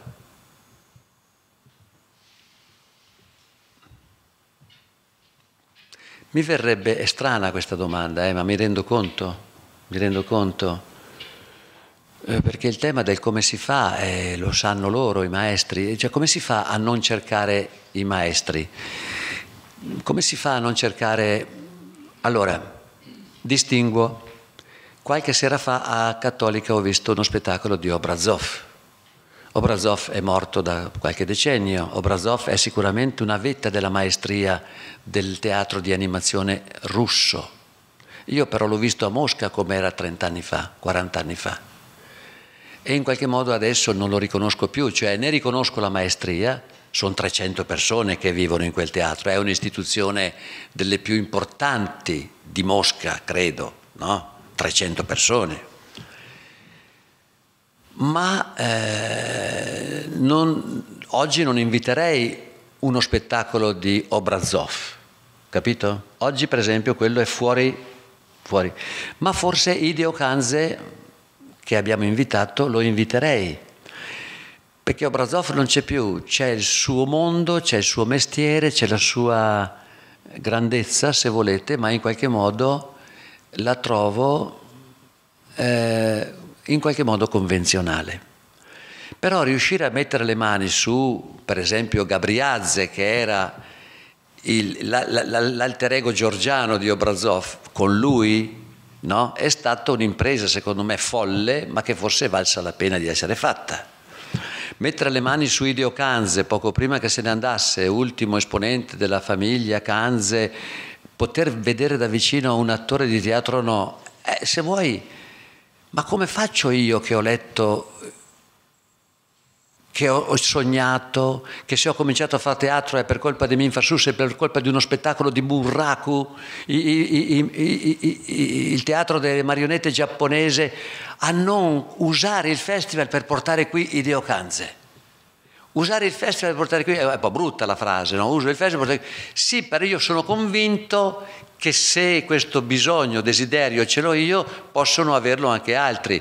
Abbiamo, ho tentato, abbiamo tentato anche operazioni più complesse, con l'Argentina c'era un'idea folle poi con Veronese non è andata in porto, poi con quella Masnada, quanti erano Roberto? 120 che dovevano venire qui, dovevamo portare qui uno spettacolo, uno spettacolo di barrio o di barrio, non so come si dice, è uno spettacolo popolare creato, eh, un esempio rarissimo di teatro colto popolare insieme fatto da attori professionisti e no che secondo me è un esempio inarrivabile che si, si, si succede a Buenos Aires e che avevamo tentato di portare qui. Quindi stiamo parlando di qualcosa che non è accaduto, ma per me quella era una maestria, cioè un es- eh, maestro è esempio, non da copiare, ma in qualche modo una forma di esemplarità. Eh, io ho sempre avuto bisogno e continuo ad averlo il bisogno eh, dei maestri, forse perché non essendo stato infettato dall'accademismo per ragioni biografiche, ho sempre considerato il rapporto col maestro un rapporto fertile. Capisci cosa voglio dire? Un rapporto utile. O penso che come me ne hanno bisogno anche tanti altri. Ecco, per cui il rapporto... E poi all'inizio di tutto c'è quella frase di Grotowski, no? L'unica cosa che conta è gli spagnoli hanno una parola perfetta, hidalgo, che vuol dire hijo de alguien. Lui è un hidalgo, cioè un figlio di qualcuno, non è un figlio di nessuno. Quindi sapere di chi sei figlio, forse il maestro ti può aiutare a rintracciare le tue radici lontane, per sapere che cosa passi. E qui c'è il problema grosso della verticalità e dell'orizzontalità, che è uno dei compiti, che forse questa è la materia dell'ultima domanda, cioè che bisogna tenere aperta la freccia del tempo perché il tempo sparisce. Il qui e ora uccide il passato e il futuro. E forse al teatro tocca tenere aperta la porta, la freccia del tempo. In questo senso, maestro, se pensate che è una cosa... è fuori moda. Perché maestro? È fuori moda, è fuori contesto. Nell'era digitale un ragazzo sa molto di più di chiunque altro del mondo digitale. È finita. Ma forse il maestro è l'unica persona, è quello che sa istruire il guerriero. E chi è il guerriero? Il guerriero è la cosa che speriamo non, non sparisca, che i ventenni e i trentenni di oggi si pensino come guerrieri, e cioè dove la sconfitta è nell'ordine delle cose che possono accadere, ma è imparare a rialzarsi che bisogna. Ci può stare la caduta, sempre ci può stare la caduta, ma bisogna imparare a rialzarsi e questo è il compito del teatro, tenere aperta la freccia del tempo e anche dello spazio per quanto mi riguarda, perché uno dei temi legati alle ai maestri era le geografie teatrali, era l'epoca in cui io pensavo che una certa area producesse un certo frutto. Adesso è più difficile, che un certo luogo, così come si dice un cru, sapete che nella denominazione no, il cru, è, il vino che viene in quella collina lì, è, le qualità organolettiche di quel vino sono quelle e nient'altro. E io penso ancora così che se tu hai mangiato questo, hai vissuto questo, hai sentito questa lingua, io, io arrivo qui in Romagna e poi qui c'è l'altro tema della poesia e, e questo paese è pieno di poeti, di grandi poeti e io arrivo, arrivo col mio poeta chiaramente, che, perché io giro sempre con dei talismani in tasca, no? e questo che cos'è? Eh, questo è Filò di Zanzotto perché il mio poeta era questo, corrispondente ai vostri, no? Vecio parlare che tu hai il tuo saurus chip de latte la eva, vecio parlare che non so pi, che mi sia discuni di pardinte la bocca, no tu me basta, parlare poreto da poreti, ma scet, ma fis, ma toch, fa una branca de fen, appena sega dal fallin. Quando gliel'ho recitato a Leo questo pezzo, no? in occasione dei cento attori, che poi lui lo mise in scena, no? questo pezzettino qui, e altre, insomma. No? Quindi io, come dire, questa l'ho trovata una strana coincidenza, perché una delle ossessioni eh, è quella della poesia. Quindi ho l'abitudine a cercare un analogo poetico, ma nel senso anche tecnico a volte, no? eh, perché sono un appassionato lettore quindi credo che sia una disciplina che ti aiuta a fare economia, a, dare giusto peso alle parole, perché Montale diceva che la poesia è disperatamente semantica, cioè il significato è importante, ma lo diceva uno come Montale. Non so se mi spiego. non lo diceva uno qualsiasi.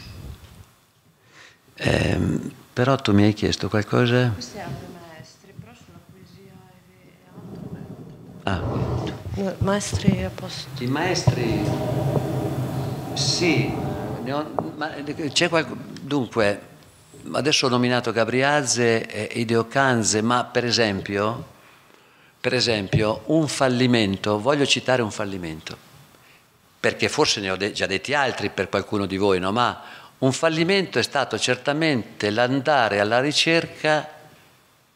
Vi ricordate quando abbiamo isolato il centro storico e l'abbiamo affidato a Mimmo Cuticchio? E abbiamo portato qui tre o quattro spettacoli di teatro di pupi perché ci sembrava fertile quell'azione, no? E poi E, perché lì c'era quella miniera butta e buttava, no? e butta ancora in realtà. No? E io pensavo o credevo che diventasse contagiosa questa azione, che in qualche modo sprigionasse una forza, ma non è stato così. Non è stato così, però abbiamo investito molto nel tentativo di strappare o di mungere Mimmo Cuticchio, no? che me lo ricordo ancora quando sotto, eravamo solo in via Fabri, Silvio, Silvio, lo sai qual è il sogno di ogni grande attore? Di diventare pupo. E eh, dico, hai ragione Mimmo, deve trovare qualcuno che lo muova, no? Nel bene e nel male la frase è terribile, no? perché ha a che fare con la responsabilità politica del tuo essere attore. Io uso spesso la parola attore al posto di io sono soprattutto un attore quindi permettetemi di usare quella al posto di artista o teatrante, insomma, ecco. Però il rapporto con Mimmo dal punto di vista non del rapporto con lui, non della sua maestria, ma noi avevamo puntato molto sul fatto che questa maestria diventasse eh, contagiosa, cosa che invece non è accaduta. Visto che hai introdotto il tema delle geografie, che è sempre centrale, soprattutto nei primi festival, ci sono proprio delle sezioni dedicate a culture, geografie teatrali differenti, italiane, europee. Volevo farti una domanda sulle geografie più concrete di Sant'Arcangelo e il circondario, che anche questa hai appena toccato. Cioè, eh, si potrebbe scrivere, l'abbiamo detto tante volte, un libro sulla storia del festival attraverso le relazioni che ciascuna direzione artistica, ciascuna edizione ha istituito con i luoghi e della città e del territorio territorio dei comuni limitrofi. Ehm, e, quindi volevo chiederti come la tua direzione, già questa citazione sul progetto dell'Epica nelle contrade del, del centro storico della città vecchia, qualcosa ci dice come la tua direzione artistica si era portata alla scelta dei luoghi e più in generale alla città e ai suoi abitanti. Allora, questa cosa che ho citato di Cuticchio, non mi ricordo più esattamente, per me dal mio punto di vista è stata l'accettazione o dichiarazione che il mondo delle contrade, quel mondo, il mondo del, del, del 77 non c'è più, ma è morto. Le contrade stavano per essere da, da anni spopolate dagli abitanti di allora. C'è, c'è questo fatto di Mimmo e quindi siamo andati in cerca dei capannoni si è portato in cerca del, del, dei nuovi spazi, no? dove passava la, la, la, vita, dove passava...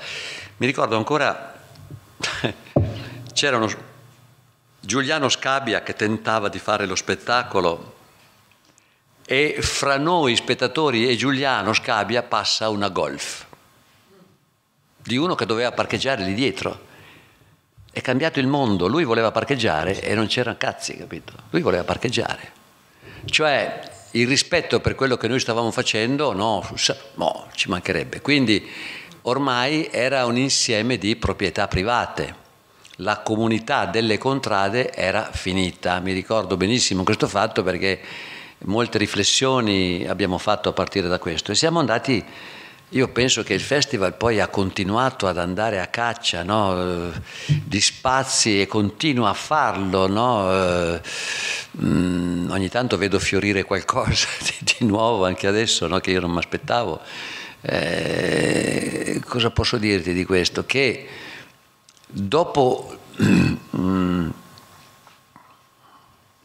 mi sembra inutile che adesso qui stiamo a fare la discussione perché va da sé, si è fatta da sola questa discussione no? sul eh, il teatro, eh, dopo l'ultimo festival di Sant'Arcangelo, che si chiamò così, era un titolo che voleva sancire proprio il fatto che quel tipo di teatralità diffusa, eh, di, di godereccia per le piazze, era ora di bypassarla e di creare ambiti di concentrazione e di intensità diverse per permettere agli artisti di fare un'esperienza no, che ci veniva chiesta. Avevamo bisogno di un altro strumento, ok? Ma senza, io almeno, senza mettere totalmente in cantiere il fatto che il teatro non è una cosa che per forza deve accadere in una cantina lontana e nascosta. E qui spezzo una lancia a favore di Leo e anche diciamo così di come io ho inteso fare il lavoro. Poi bisogna parlare appunto della musica e del circo inferno, che sono due aspetti che si collegano molto a questo. No?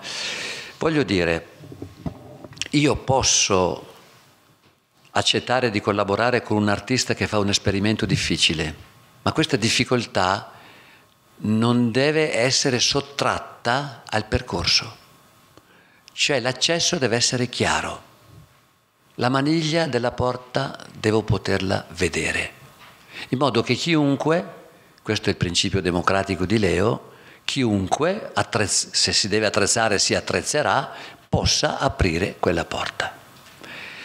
Ovviamente, eh, passato quindi l'ultimo Festival di Sant'Arcano, non si pone più il problema, ma si pone comunque il problema di rispondere al, alla singolarità di questo festival. Mi, mi spiego meglio. Voi sapete che per anni è stato ospite qui Goffredo Foffi, che il festival ha ospitato per anni lo straniero, e posso citare, perché non è stata una volta sola, diverse litigate, chiamiamole così, con Goffredo, al bar centrale o a quell'altro, che diceva basta con questi circenses, è ora di fare l'Aventino delle arti basta col circo, basta con... cioè praticamente con la musica, cioè con la birra, no. Lui voleva in qualche modo uh, spingersi, ver- spingerci verso una direzione che... Cioè, qui c'è un capitale ancora intatto, credo, di promiscuità fra diverse domande che fatte dalla diversità o la varietà dei pubblici che concorrono a Sant'Arcangelo, che è una ricchezza. C'è poco da fare. È una ricchezza che forse è cambiata con il tempo. Io non sono uno spettatore assiduo degli ultimi festival per dire com'è oggi, no? Io posso dire com'era allora. A quel tavolo mangiavano in tanti, bisognava che tutti andassero via con l'idea che avevano trovato qualcosa di buono per loro. E qualche volta si sbagliava anche, sì, sì. però questo era molto importante perché questa è la singolarità positiva di questo luogo. Cioè, ehm, io non voglio citare festival che conosco bene, dove insomma sono i 30-40 spettatori che, sì, per carità, hanno una loro funzione anche loro, per carità, ok? Ma questo è diverso, questo è diverso. Quindi eh, mi sono incagliato, mi sono incagliato. Ah, quindi sui luoghi e chiaramente i luoghi sono benvenuti e cercati. Eh, qui ragazzi, aiutatemi voi, quanti ne abbiamo? Non, lo so, non, Boh, eh, non, non, ho una risposta omogenea per tutti questi. Io credo che il festival abbia continuato a cercare luoghi, no, in, luoghi che, che, sono spesso luoghi in transito da una destinazione a un'altra. Visto che non ci possono essere luoghi deputati, cerchiamo luoghi che temporaneamente possiamo abitare. Quindi è un festival nomade eh, che, che, abbiamo cercato di, di, di, di, colonizzare. Poi è arrivato a un certo punto il lavatoio, ma che cos'è il lavatoio? 105 posti, c'è una struttura preziosissima, ma nel momento in cui c'è è fantastica, ma per il festival è pochissima cosa, in qualche modo, no? eh, da una parte e dall'altra. Sto pensando per esempio a uno spazio complesso come Villa Torlonia, Villa Torlonia che ci ha creato anche tanti problemi perché ovviamente è un contenitore gigantesco. No? Una volta abbiamo portato persino un certo Eric Lacascade. Voi vi ricordate Eric Lacascade che venne a provare qui prima di andare ad Avignone e ha costruito tutto quel buglierone di roba, no? Da Eric Lacascade a Massimiliano Civica, quattro omini in piedi nel nulla che dicono cose in modo piatto. No, eh sì, eh? Gran Ghignol. Quindi in, qualche modo, eh, forse visto laggiù, Gran Ghignol ha espresso il massimo delle sue potenzialità, perché era un luogo che se si poteva rappresentare il vuoto, quello era il posto giusto. Eh, chiaramente cos'è? Eh, il, il, lavoro e il rischio è sempre quello di trovare la, il posto giusto per, per, la, per, il progetto giusto. Noi siamo tutti, eh, come si dice in inglese, site specific. Sono tutti site specific da, da decenni i progetti di Sant'Arcangelo. A volte il matrimonio funziona, a volte meno e a volte bisogna tagliare qualcosa, accorciare la, la figura no, sul letto perché non ci sta. Eh, questa è la, è la, natura del festival, no? tramontata l'idea che si fa un megateatro, due, con un palcoscenico esterno ed interno, vero Natalino? Eh, di, firma, a firma di Gaudenzi, mi pare, no? Eh, come Rimini avrebbe detto come lo fate voi e noi non lo facciamo ci saremmo messi in concorrenza con un contribuente che avrebbe avuto da ridire magari, no? E comunque il festival non è avere a disposizione un teatro, ma la libertà di agire sul territorio e per agire sul territorio devi avere rapporto con la comunità, che è la comunità amministrativa, ma anche con la comunità cittadina, giusto? Perché se no non stai chiuso in tre stanze di un castello a fare un festival, scusa la citazione. Eh, cioè, non ne ha bisogno Castiglioncello di avere un rapporto con la comunità, lo fanno lì, lo fanno lì. Benissimo, ma qui è necessario, è necessario perché no, se no come arrivi a intercettare eh, gli spazi, per esempio, no? Non so se c'è qualcosa di più intelligente da dire rispetto a questo, ma credo che il fatto di andare, di andare, a mendicare spazi sia il segno che la comunità in qualche modo vuole continuare a dialogare con il festival se in qualche modo si riesce a risolvere il problema. Su questo tema qui dei luoghi, ma in realtà in particolare del rapporto con la, la comunità e le diverse domande che il festival va a intercettare, le diverse comunità che entrano in contatto ogni anno tuttora e nella sua storia con, con il Festival di Sant'Arcangelo c'è la questione dell'apertura, perché le edizioni dirette da Silvio Castiglioni hanno anche altre, però le sue in particolare, questa particolarità di avere una programmazione di teatro, anche di danza, eccetera, ma anche moltissime aperture, sia di formato rispetto allo spettacolo tradizionale, comunemente inteso, sia al teatro stesso.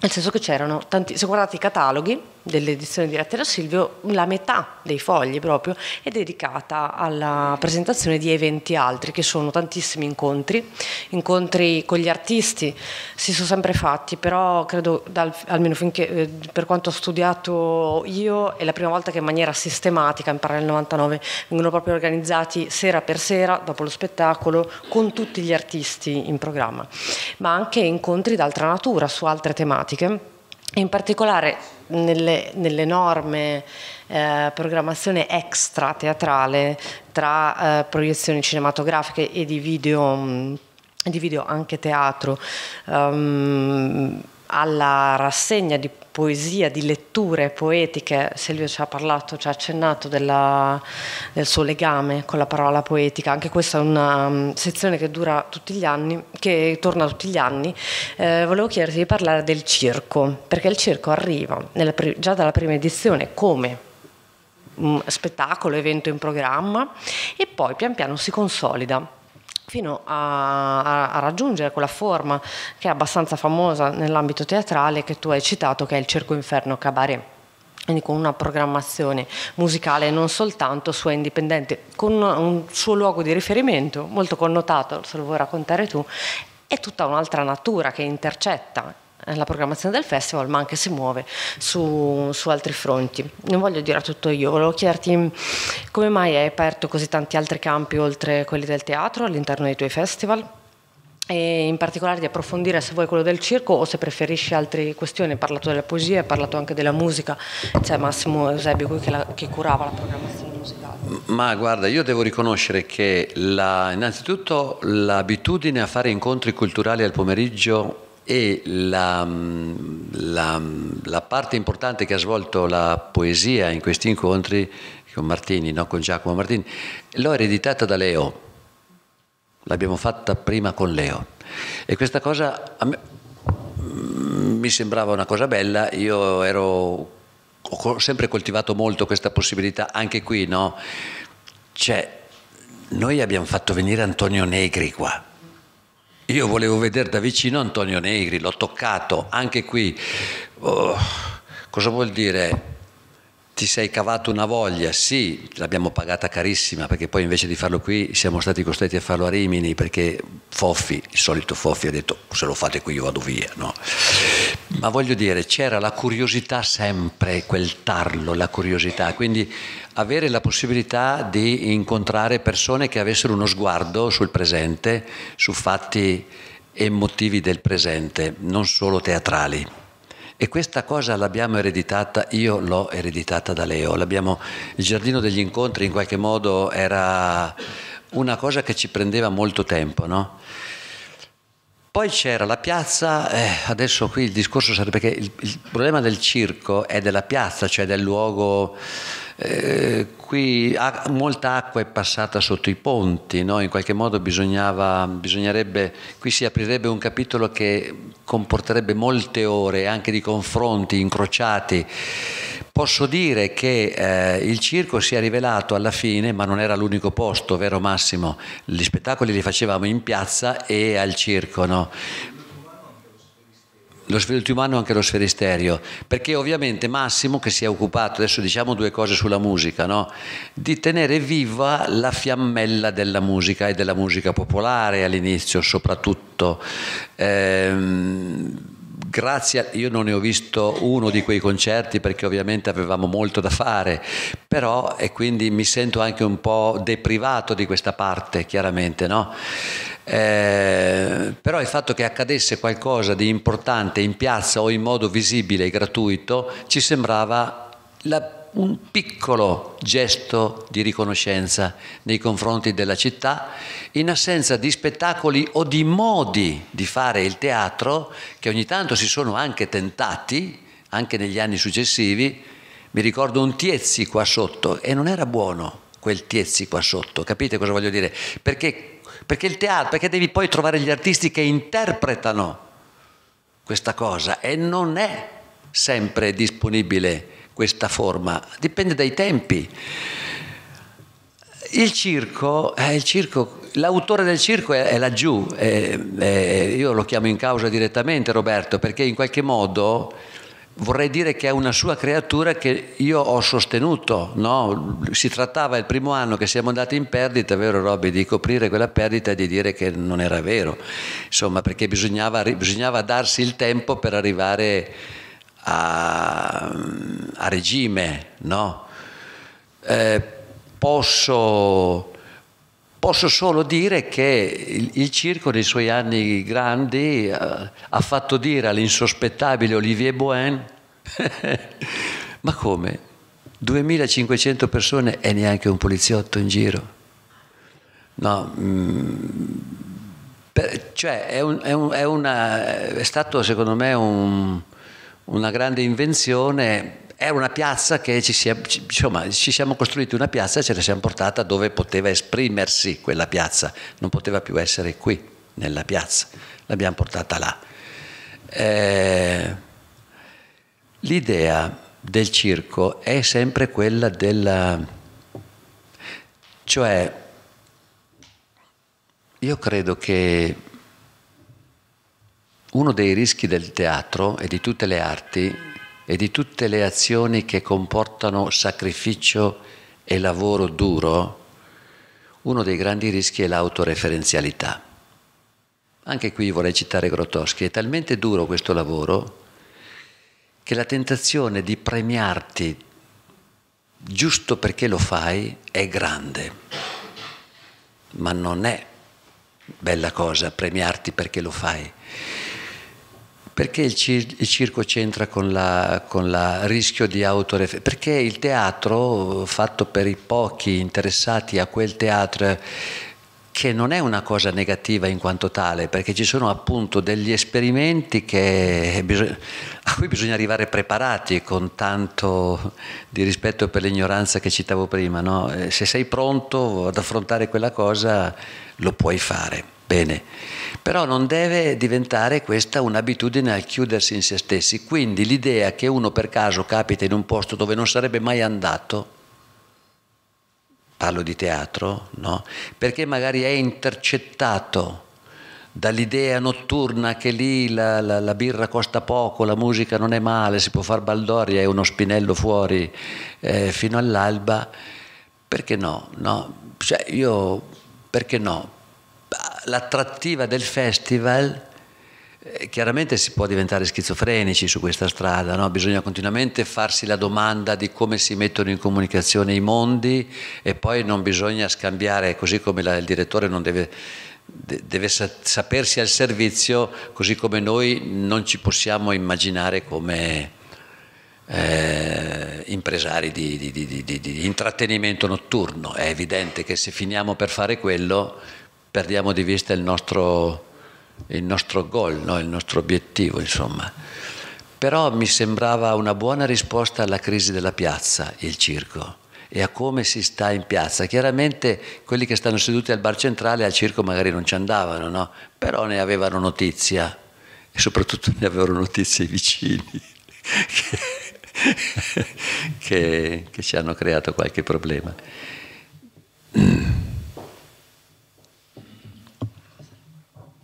Sì. sì. Io chiederei se c'è qualcuno che ha delle domande o anche semplicemente delle riflessioni da condividere rispetto a tutte le cose che abbiamo detto, che Silvia ha detto finora. Abbiamo un microfono. No, no ma sta registrando. glielo porto io.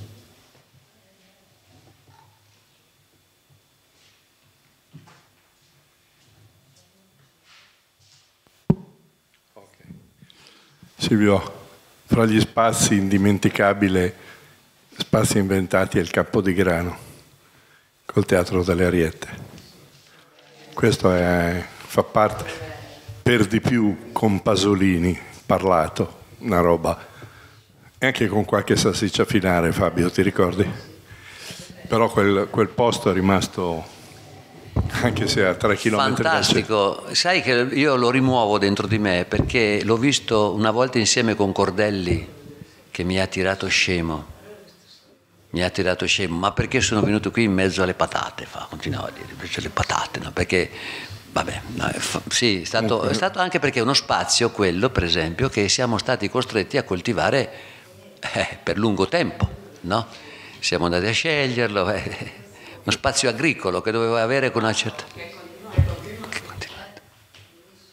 Eh, va bene, questa è una citazione imperdibile. Su questo tema della piazza, della musica, del circo, io credo che uno dei meriti vostri, cioè il connubio mh, teatro e Massimo Eusebio, è un po' tornare, scusate la citazione dotta, all'idea di Nietzsche, musica e teatro. Cioè era un tipo di musica, sì, popolare, di tradizioni del mondo, ma che ti faceva entrare nella logica di un teatro che può nascere anche in mezzo alla gente, in mezzo a una piazza. E quelle serate indimenticabili che facevi, programmavi dal lunedì al giovedì, quindi quando non c'era il casino del, del weekend, di teatro sotto l'arco, Italia-Brasile 3 a 2, iniziato con 150 persone, finito con 1000 persone perché le ho contate, con Davide Enia o Enia, non so. E Ascagno Celestini ancora poco conosciuto, cioè sono dei momenti che mm, rimangono e fanno capire che il teatro ha un senso sociale, ma non nel senso politico, ha un senso di aggregazione, ha un modo di, raccontare, di raccontarsi e, e rinascere in mezzo alla gente.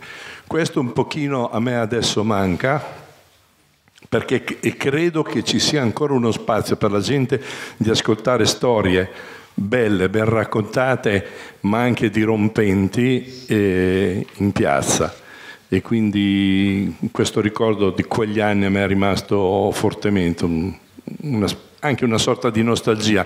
Oggi sarebbe tutto da reinventare, però secondo me c'è uno spazio perché musica e teatro nella piazza abbiano un, un, senso. E poi per il casino va benissimo anche il circo se si trova uno spazio adeguato.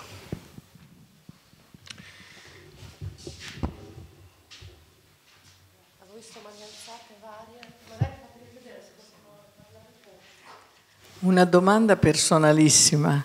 Il tuo rapporto con Leo personale e il tuo rapporto con Rezzo Gabriase, perché so che è stato difficile ma straordinario, e invece una domanda più grande che riguarda tutto il festival, ma tutti i festival.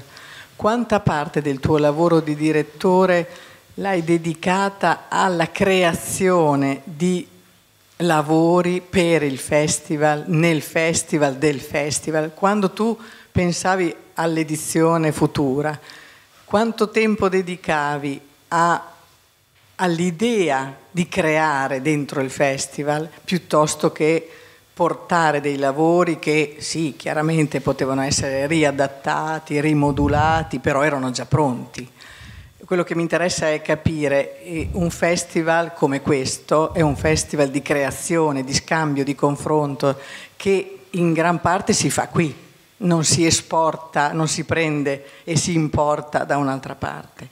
E quindi mi interessava capire quanto del tuo eh, tempo creativo l'hai dedicato a questo aspetto e se ci sono state delle edizioni dove è stato più facile raggiungere questo obiettivo e altre invece più difficili.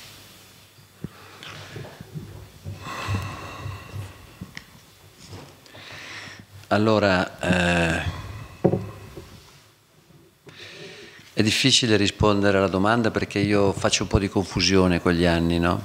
Posso, mi vengono in mente dei lampi, tipo c'è stato un anno che noi abbiamo prodotto uno spettacolo della Valdoca che abbiamo fatto a, a Villa Torlonia, no? Il, um, quello con Dagno Manfredini, il... Um, uh, eh? No, eh, par, par, um, Parsifal. Lo stesso anno, lo stesso anno Barberio Corsetti era a Venezia e Martone a Roma e noi avevamo cominciato, noi con i piccoli mezzi di cui disponiamo, a fare questo dialogo con Cesare Ronconi per fare lo spettacolo lì. L'arrivo di queste due nomine ci ha gettato nel panico, perché ovviamente lui si sentiva tentato di andare di là. No? Allora, lo, lo, cito, poi alla fine eh, si è calmato tutto, anche perché se Venezia aveva molti più soldi, però era molto più scomoda per lui, e molto più costosa andare a Venezia con i canali, l'acqua e i gradini, no? piuttosto che venire a Villa Torloni a due passi da casa. Però credo che tu hai detto una parola molto giusta, no? un festival di creazione, si dovrebbe, si dovrebbe, comprare poco sul mercato delle cose già fatte e, e si dovrebbe invece cercare di, di, usare tutto il tempo per coltivare, ma qui dipende spesso dalle risorse, poi sono poche quelle che tu puoi fare. Le azioni di questo tipo, almeno ai miei tempi, quando era meno ricca questa dote di collaborazioni con l'Europa che adesso è stata avviata, era molto, eh, insomma, erano poche le cose che potevamo fare come produzione, come coproduzione o soprattutto come coltivazione in loco, capito? Erano progetti, erano limit- proprio si contavano sulle punte delle dita, no? Eh, non so se ti ho risposto, eh, chiaramente ci sarebbe piaciuto alla fine però succede che tu devi far fronte a un festival che presenta richieste di biglietti, di, di, cioè che, che, presenta che tu devi, e tu devi offrire la, anche l'apparato festival. E per offrire l'apparato festival devi tamponare, cioè devi presidiare diversi lati della... Non è il festival solo per gli operatori o per gli interessati al teatro, questo è il punto, capito? E allora non puoi pretendere di essere originale in tutti, in tutti i campi che tu dissodi. Ecco. Eh, perché mi, mi, mi, fai pensare, magari ci penserò meglio a quello che mi chiedi, perché io mi sentivo come un, uno non preparato all'esame stasera, eh, perché mi sono dimenticato tutto. Ragazzi, mi sono dimenticato un sacco di roba eh, ma veramente gli anni si ammucchiano uno sopra l'altro come si, proprio sono sogliole, capito, questi anni. E poi la rimozione, perché poi la rimozione, allora, prima rispondo all'altra cosa, con Gabriazze. Gabriazze, sapete come l'ho incontrato? No? Io ho visto lo spettacolo a Kiev, non, um, ho tentato di contattarlo perché ero il direttore del festival, ma non mi volevano ricevere. Per caso a quella che mi impediva di entrare eh, ho detto che io vengo da Sant'Arcangelo, il paese di Tonino Guerra, lui ha sentito Tonino Guerra da là e mi ha fatto entrare. E così, e così è nata questa follia che poi portare... No, gli operatori erano 5, ma in compagnia erano in 15, 16, 17, vero Roby? Cioè, allora non era così facile, non lo è forse neanche adesso, ma portare questa truppa... Ma sei stato poi a Bilisi No. No, eh, eh, comunque è stato un rapporto molto bello anche perché poi sapete che c'era bisogno del doppiaggio e quindi ha chiesto a me di farlo, sono andato a Digione a farlo perché tu vedevi lo spettacolo in russo ma ti era de- detto sottovoce, diciamo, doppiato in italiano, ce l'ho ancora quella, quella cassetta. Ehm, allora, la rimozione, alla fin dei conti però il festival non mi ha fatto male perché le cose più interessanti, a mio giudizio, ma non solo a mio giudizio, che ho fatto in teatro, le ho fatte dopo. Quindi si vede che non ho passato male il mio tempo e che qualcosa ho imparato. Per rendere più decisiva la rimozione o comunque il, fare, il voltare pagina, ho scelto di fare la cosa più difficile che io potessi fare. Ho scelto di lavorare su Viaggio in Armenia di Osip Mandelstam che chi lo conosce come poeta sa che è un poeta in qualche modo difficile, diciamo difficile.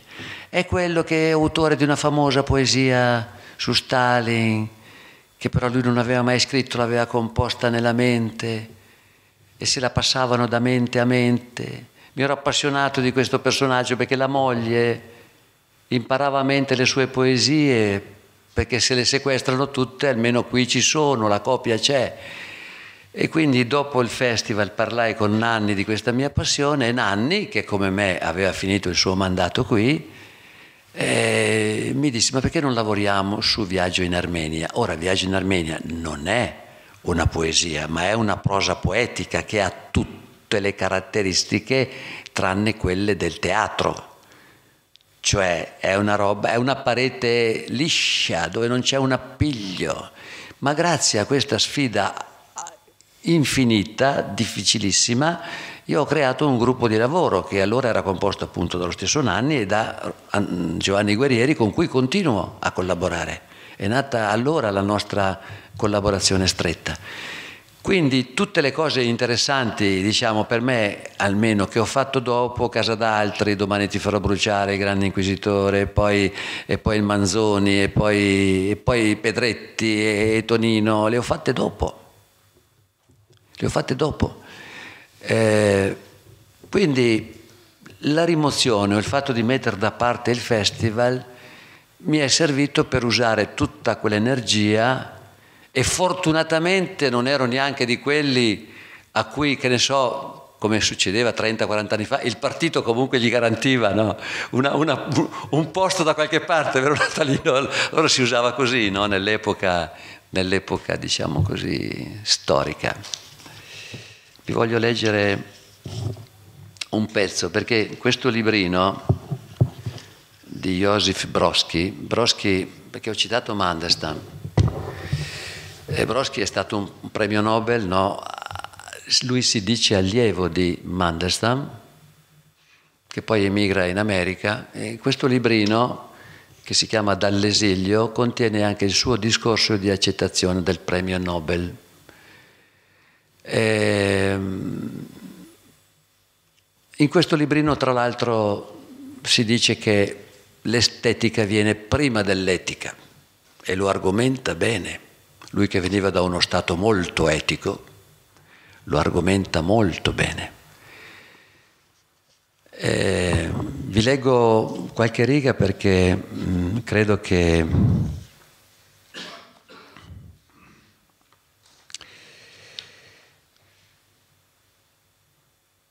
In senso antropologico, l'essere umano è una creatura estetica prima che etica.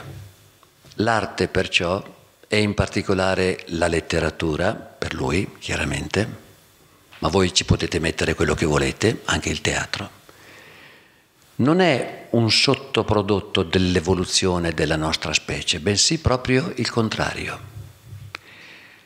Se ciò che ci distingue dagli altri rappresentanti del regno animale è la parola o la danza, allora la letteratura o il teatro e in particolare la poesia, essendo questa la forma più alta dell'espressione letteraria, è, per dire le cose fino in fondo, la meta della nostra specie. E poi vi leggo un'altra...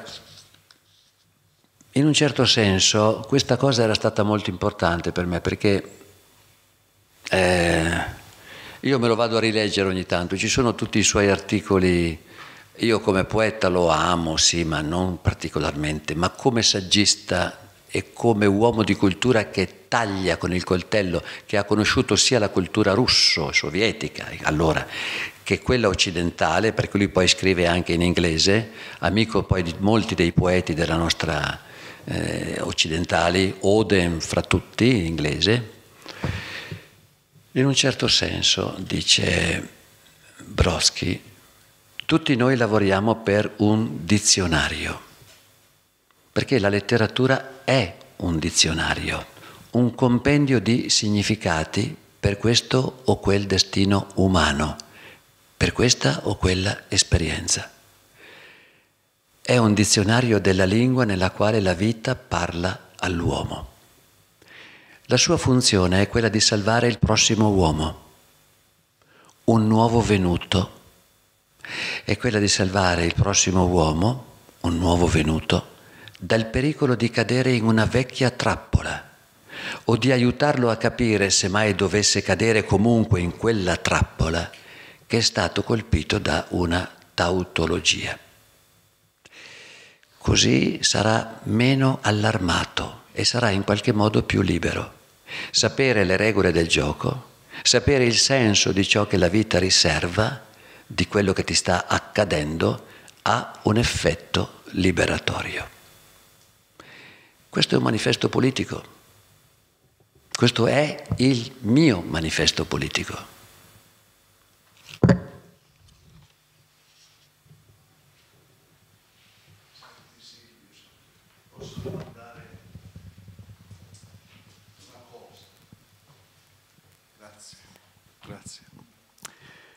Um, io conosco bene tutto il tuo periodo perché quando iniziò, iniziaste voi, io ero in consiglio comunale, poi mi, successivamente nel direttivo del festival.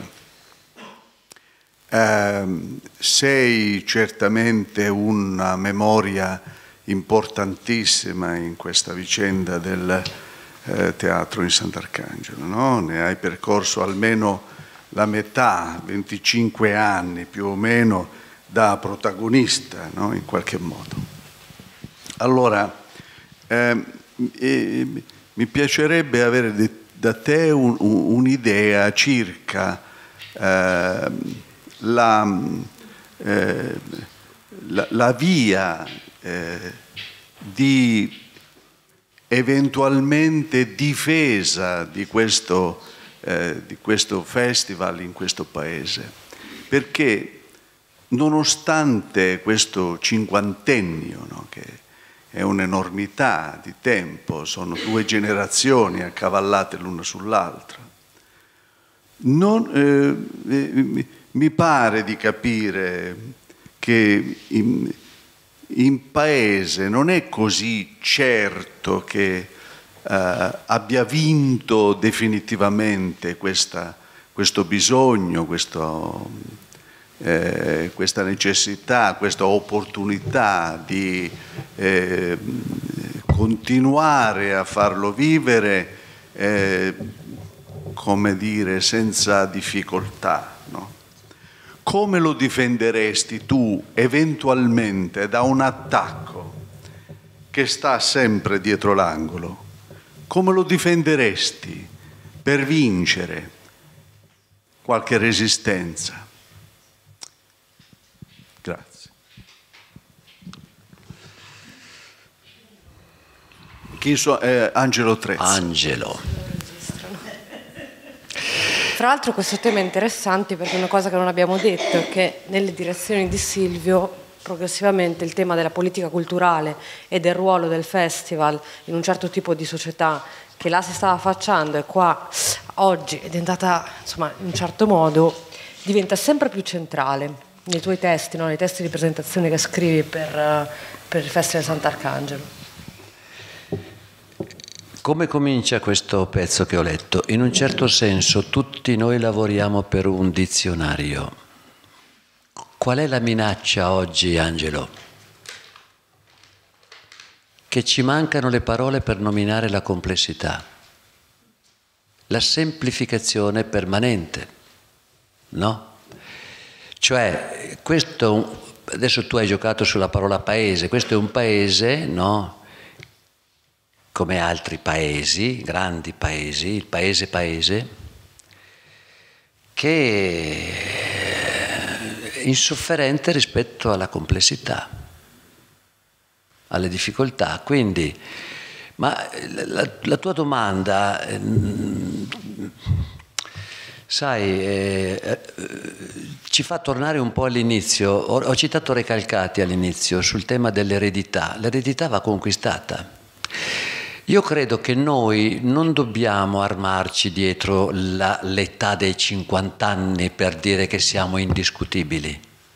Dobbiamo metterci continuamente in discussione e non dare per scontato che ormai abbiamo diritto a, alla vita in quanto tale, no? abbiamo il posto fisso al sole.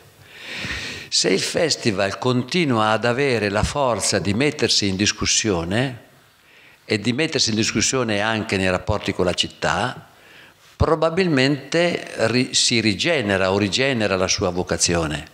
Voglio dire, non possiamo vantare l'anzianità come titolo di merito. Non è il momento di farlo in questo paese, questo grande paese Dopo non è che arrivo a consigliarvi l'ultimo libro di Moresco che si chiama Il grido perché potrebbe prendervi la depressione, ma un'occhiatina a quel libro la darei. Mi permetto di consigliarlo, è il libro che sto leggendo adesso, anche perché, come dire, no, sono talmente tante le, le eh, le questioni che solleva rispetto all'incapacità di sviluppare un pensiero politico, adesso diciamolo, no, capace di far presa sulla pancia della gente. Oh, eh, io ho la fortuna di non dirigere questo festival adesso. Scherzo però, nel senso che tu mi fai una domanda cioè sono, sono, sono, contento ma nel senso che ho altro da fare non perché non mi piacerebbe sì non mi piacerebbe non saprei, non, non saprei da che parte cominciare voglio dire però anche in quell'altro da fare mi pongo il problema che se 20 spettatori sono arrivati qui stasera io non devo drogarli perché se li mando via drogati ho fatto la cazzata capito cosa vuol dire drogato? Sapete cosa vuol dire drogato? Tu mi affidi il tuo organo poetico, io approfitto del fatto che so parlare in pubblico, che so tenere la tua attenzione e ti passo una dose di coca. Il, nel mio caso il lavoro è di non mettermi al posto dell'opera, l'esercizio è di non mettermi al posto dell'opera, di essere a servizio dell'opera. Lo so che anche questo non basta e non ti garantisce. Io credo che un compito è quello di tenere aperta la freccia del tempo, io la indicherei così, cioè di studiarle tutte Qui sono accadute cose importanti, per esempio, che non sono accadute recentemente, non nei, nei miei tempi sono state coinvolte eh, persone del paese no? in, in, progetti anche importanti, significativi a livello...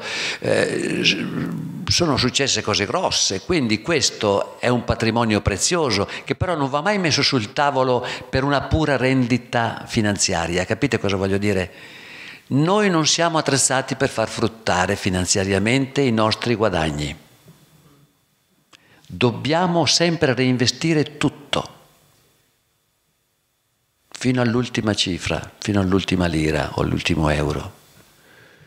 E se qui esiste, è esistita fino ad oggi questa, cioè, ma vi rendete conto, adesso ne parlavamo prima di venire qui, no? Siete andati a prendervi una direttrice di 30 anni che viene dalla Bielorussia, ma nessuno in Italia ha fatto una roba di sto genere. Scusatemi, guardata dalla distanza di Gabicce, non tanto lontano. Questa è una cosa che ha del esemplare e miracoloso per certi versi, come esempio di come si dovrebbe fare, di come dovrebbe fare questo paese. È chiaro che, siccome è un esempio pericoloso, potrebbero anche prenderlo come motivo, no, per, per giustiziarti, ma anche questo esperimento, questo festival si è permesso. È giovane, è femmina e non è italiana. Madonna capito? È, è, cioè, è ovvio che questo nei tavoli che contano va fatto pesare, è evidente, no? Eh, cosa ti aspetti che lei faccia? Io non posso certo chiedere a lei che faccia il teatro che avrei fatto io al posto suo, ma sarei stupido se pensassi questo, no? Capite cosa voglio dire?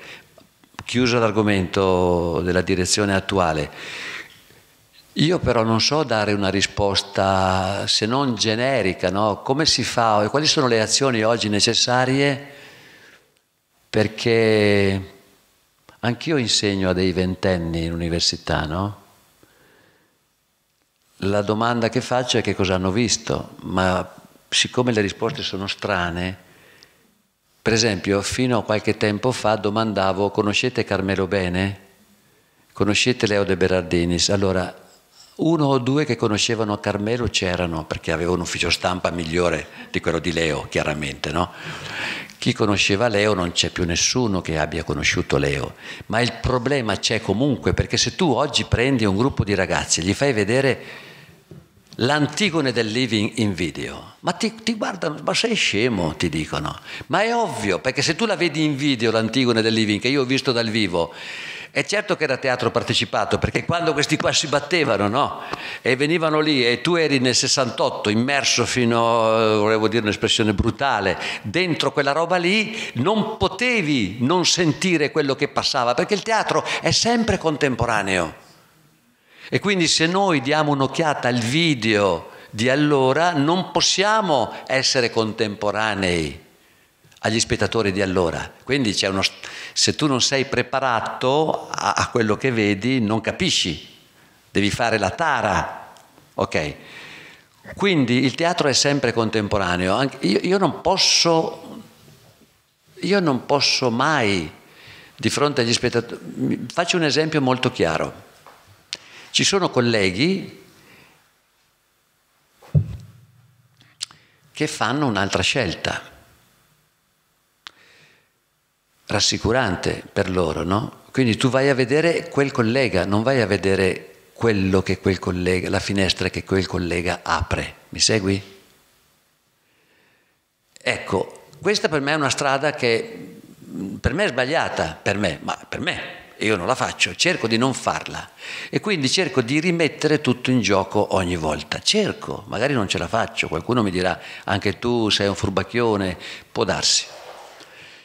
Però non posso, anche il festival non può calare la sua, non può calare i suoi 50 anni come una carta di credito, deve rimettere in discussione la sua legittimità ogni volta e deve riconquistarla. Questo è un esperimento politico, ragazzi, grosso, perché questo paese è scollato, è scollato il paese paese. E quindi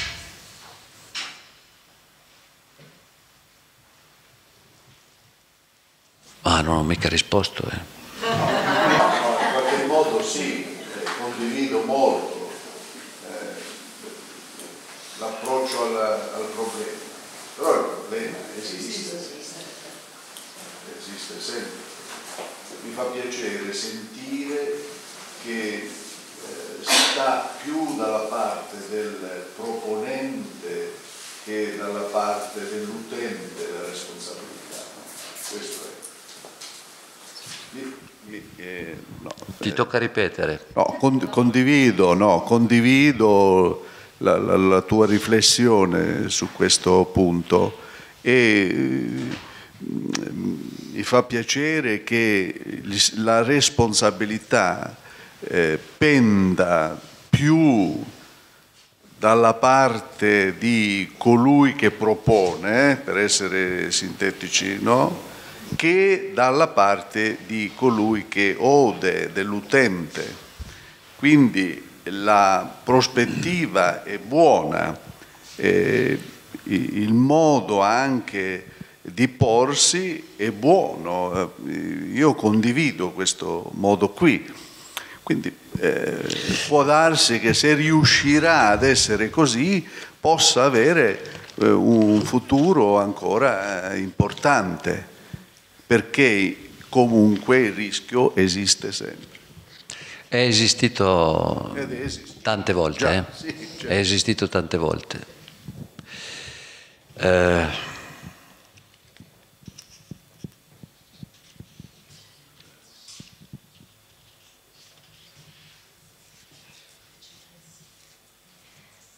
Se non ci sono altri interventi, io vi saluterei, abbiamo fatto un po' tardi rispetto al previsto, però le, gli argomenti erano tantissimi. Beh, ma con me ve la siete cavate per otto anni. 8 su 50 da Robby. Con questo incontro e c'è ancora tante altre cose sarebbero da approfondire, però insomma avremo anche altri incontri in futuro in cui ci confronteremo con questi temi, soprattutto l'ultimo che è emerso senza dubbio fondamentale. Allora ringrazierei Silvio per la Grazie sua generosità.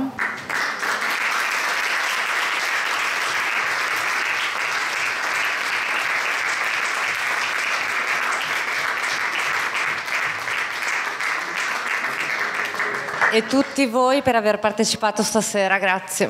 Grazie, ciao.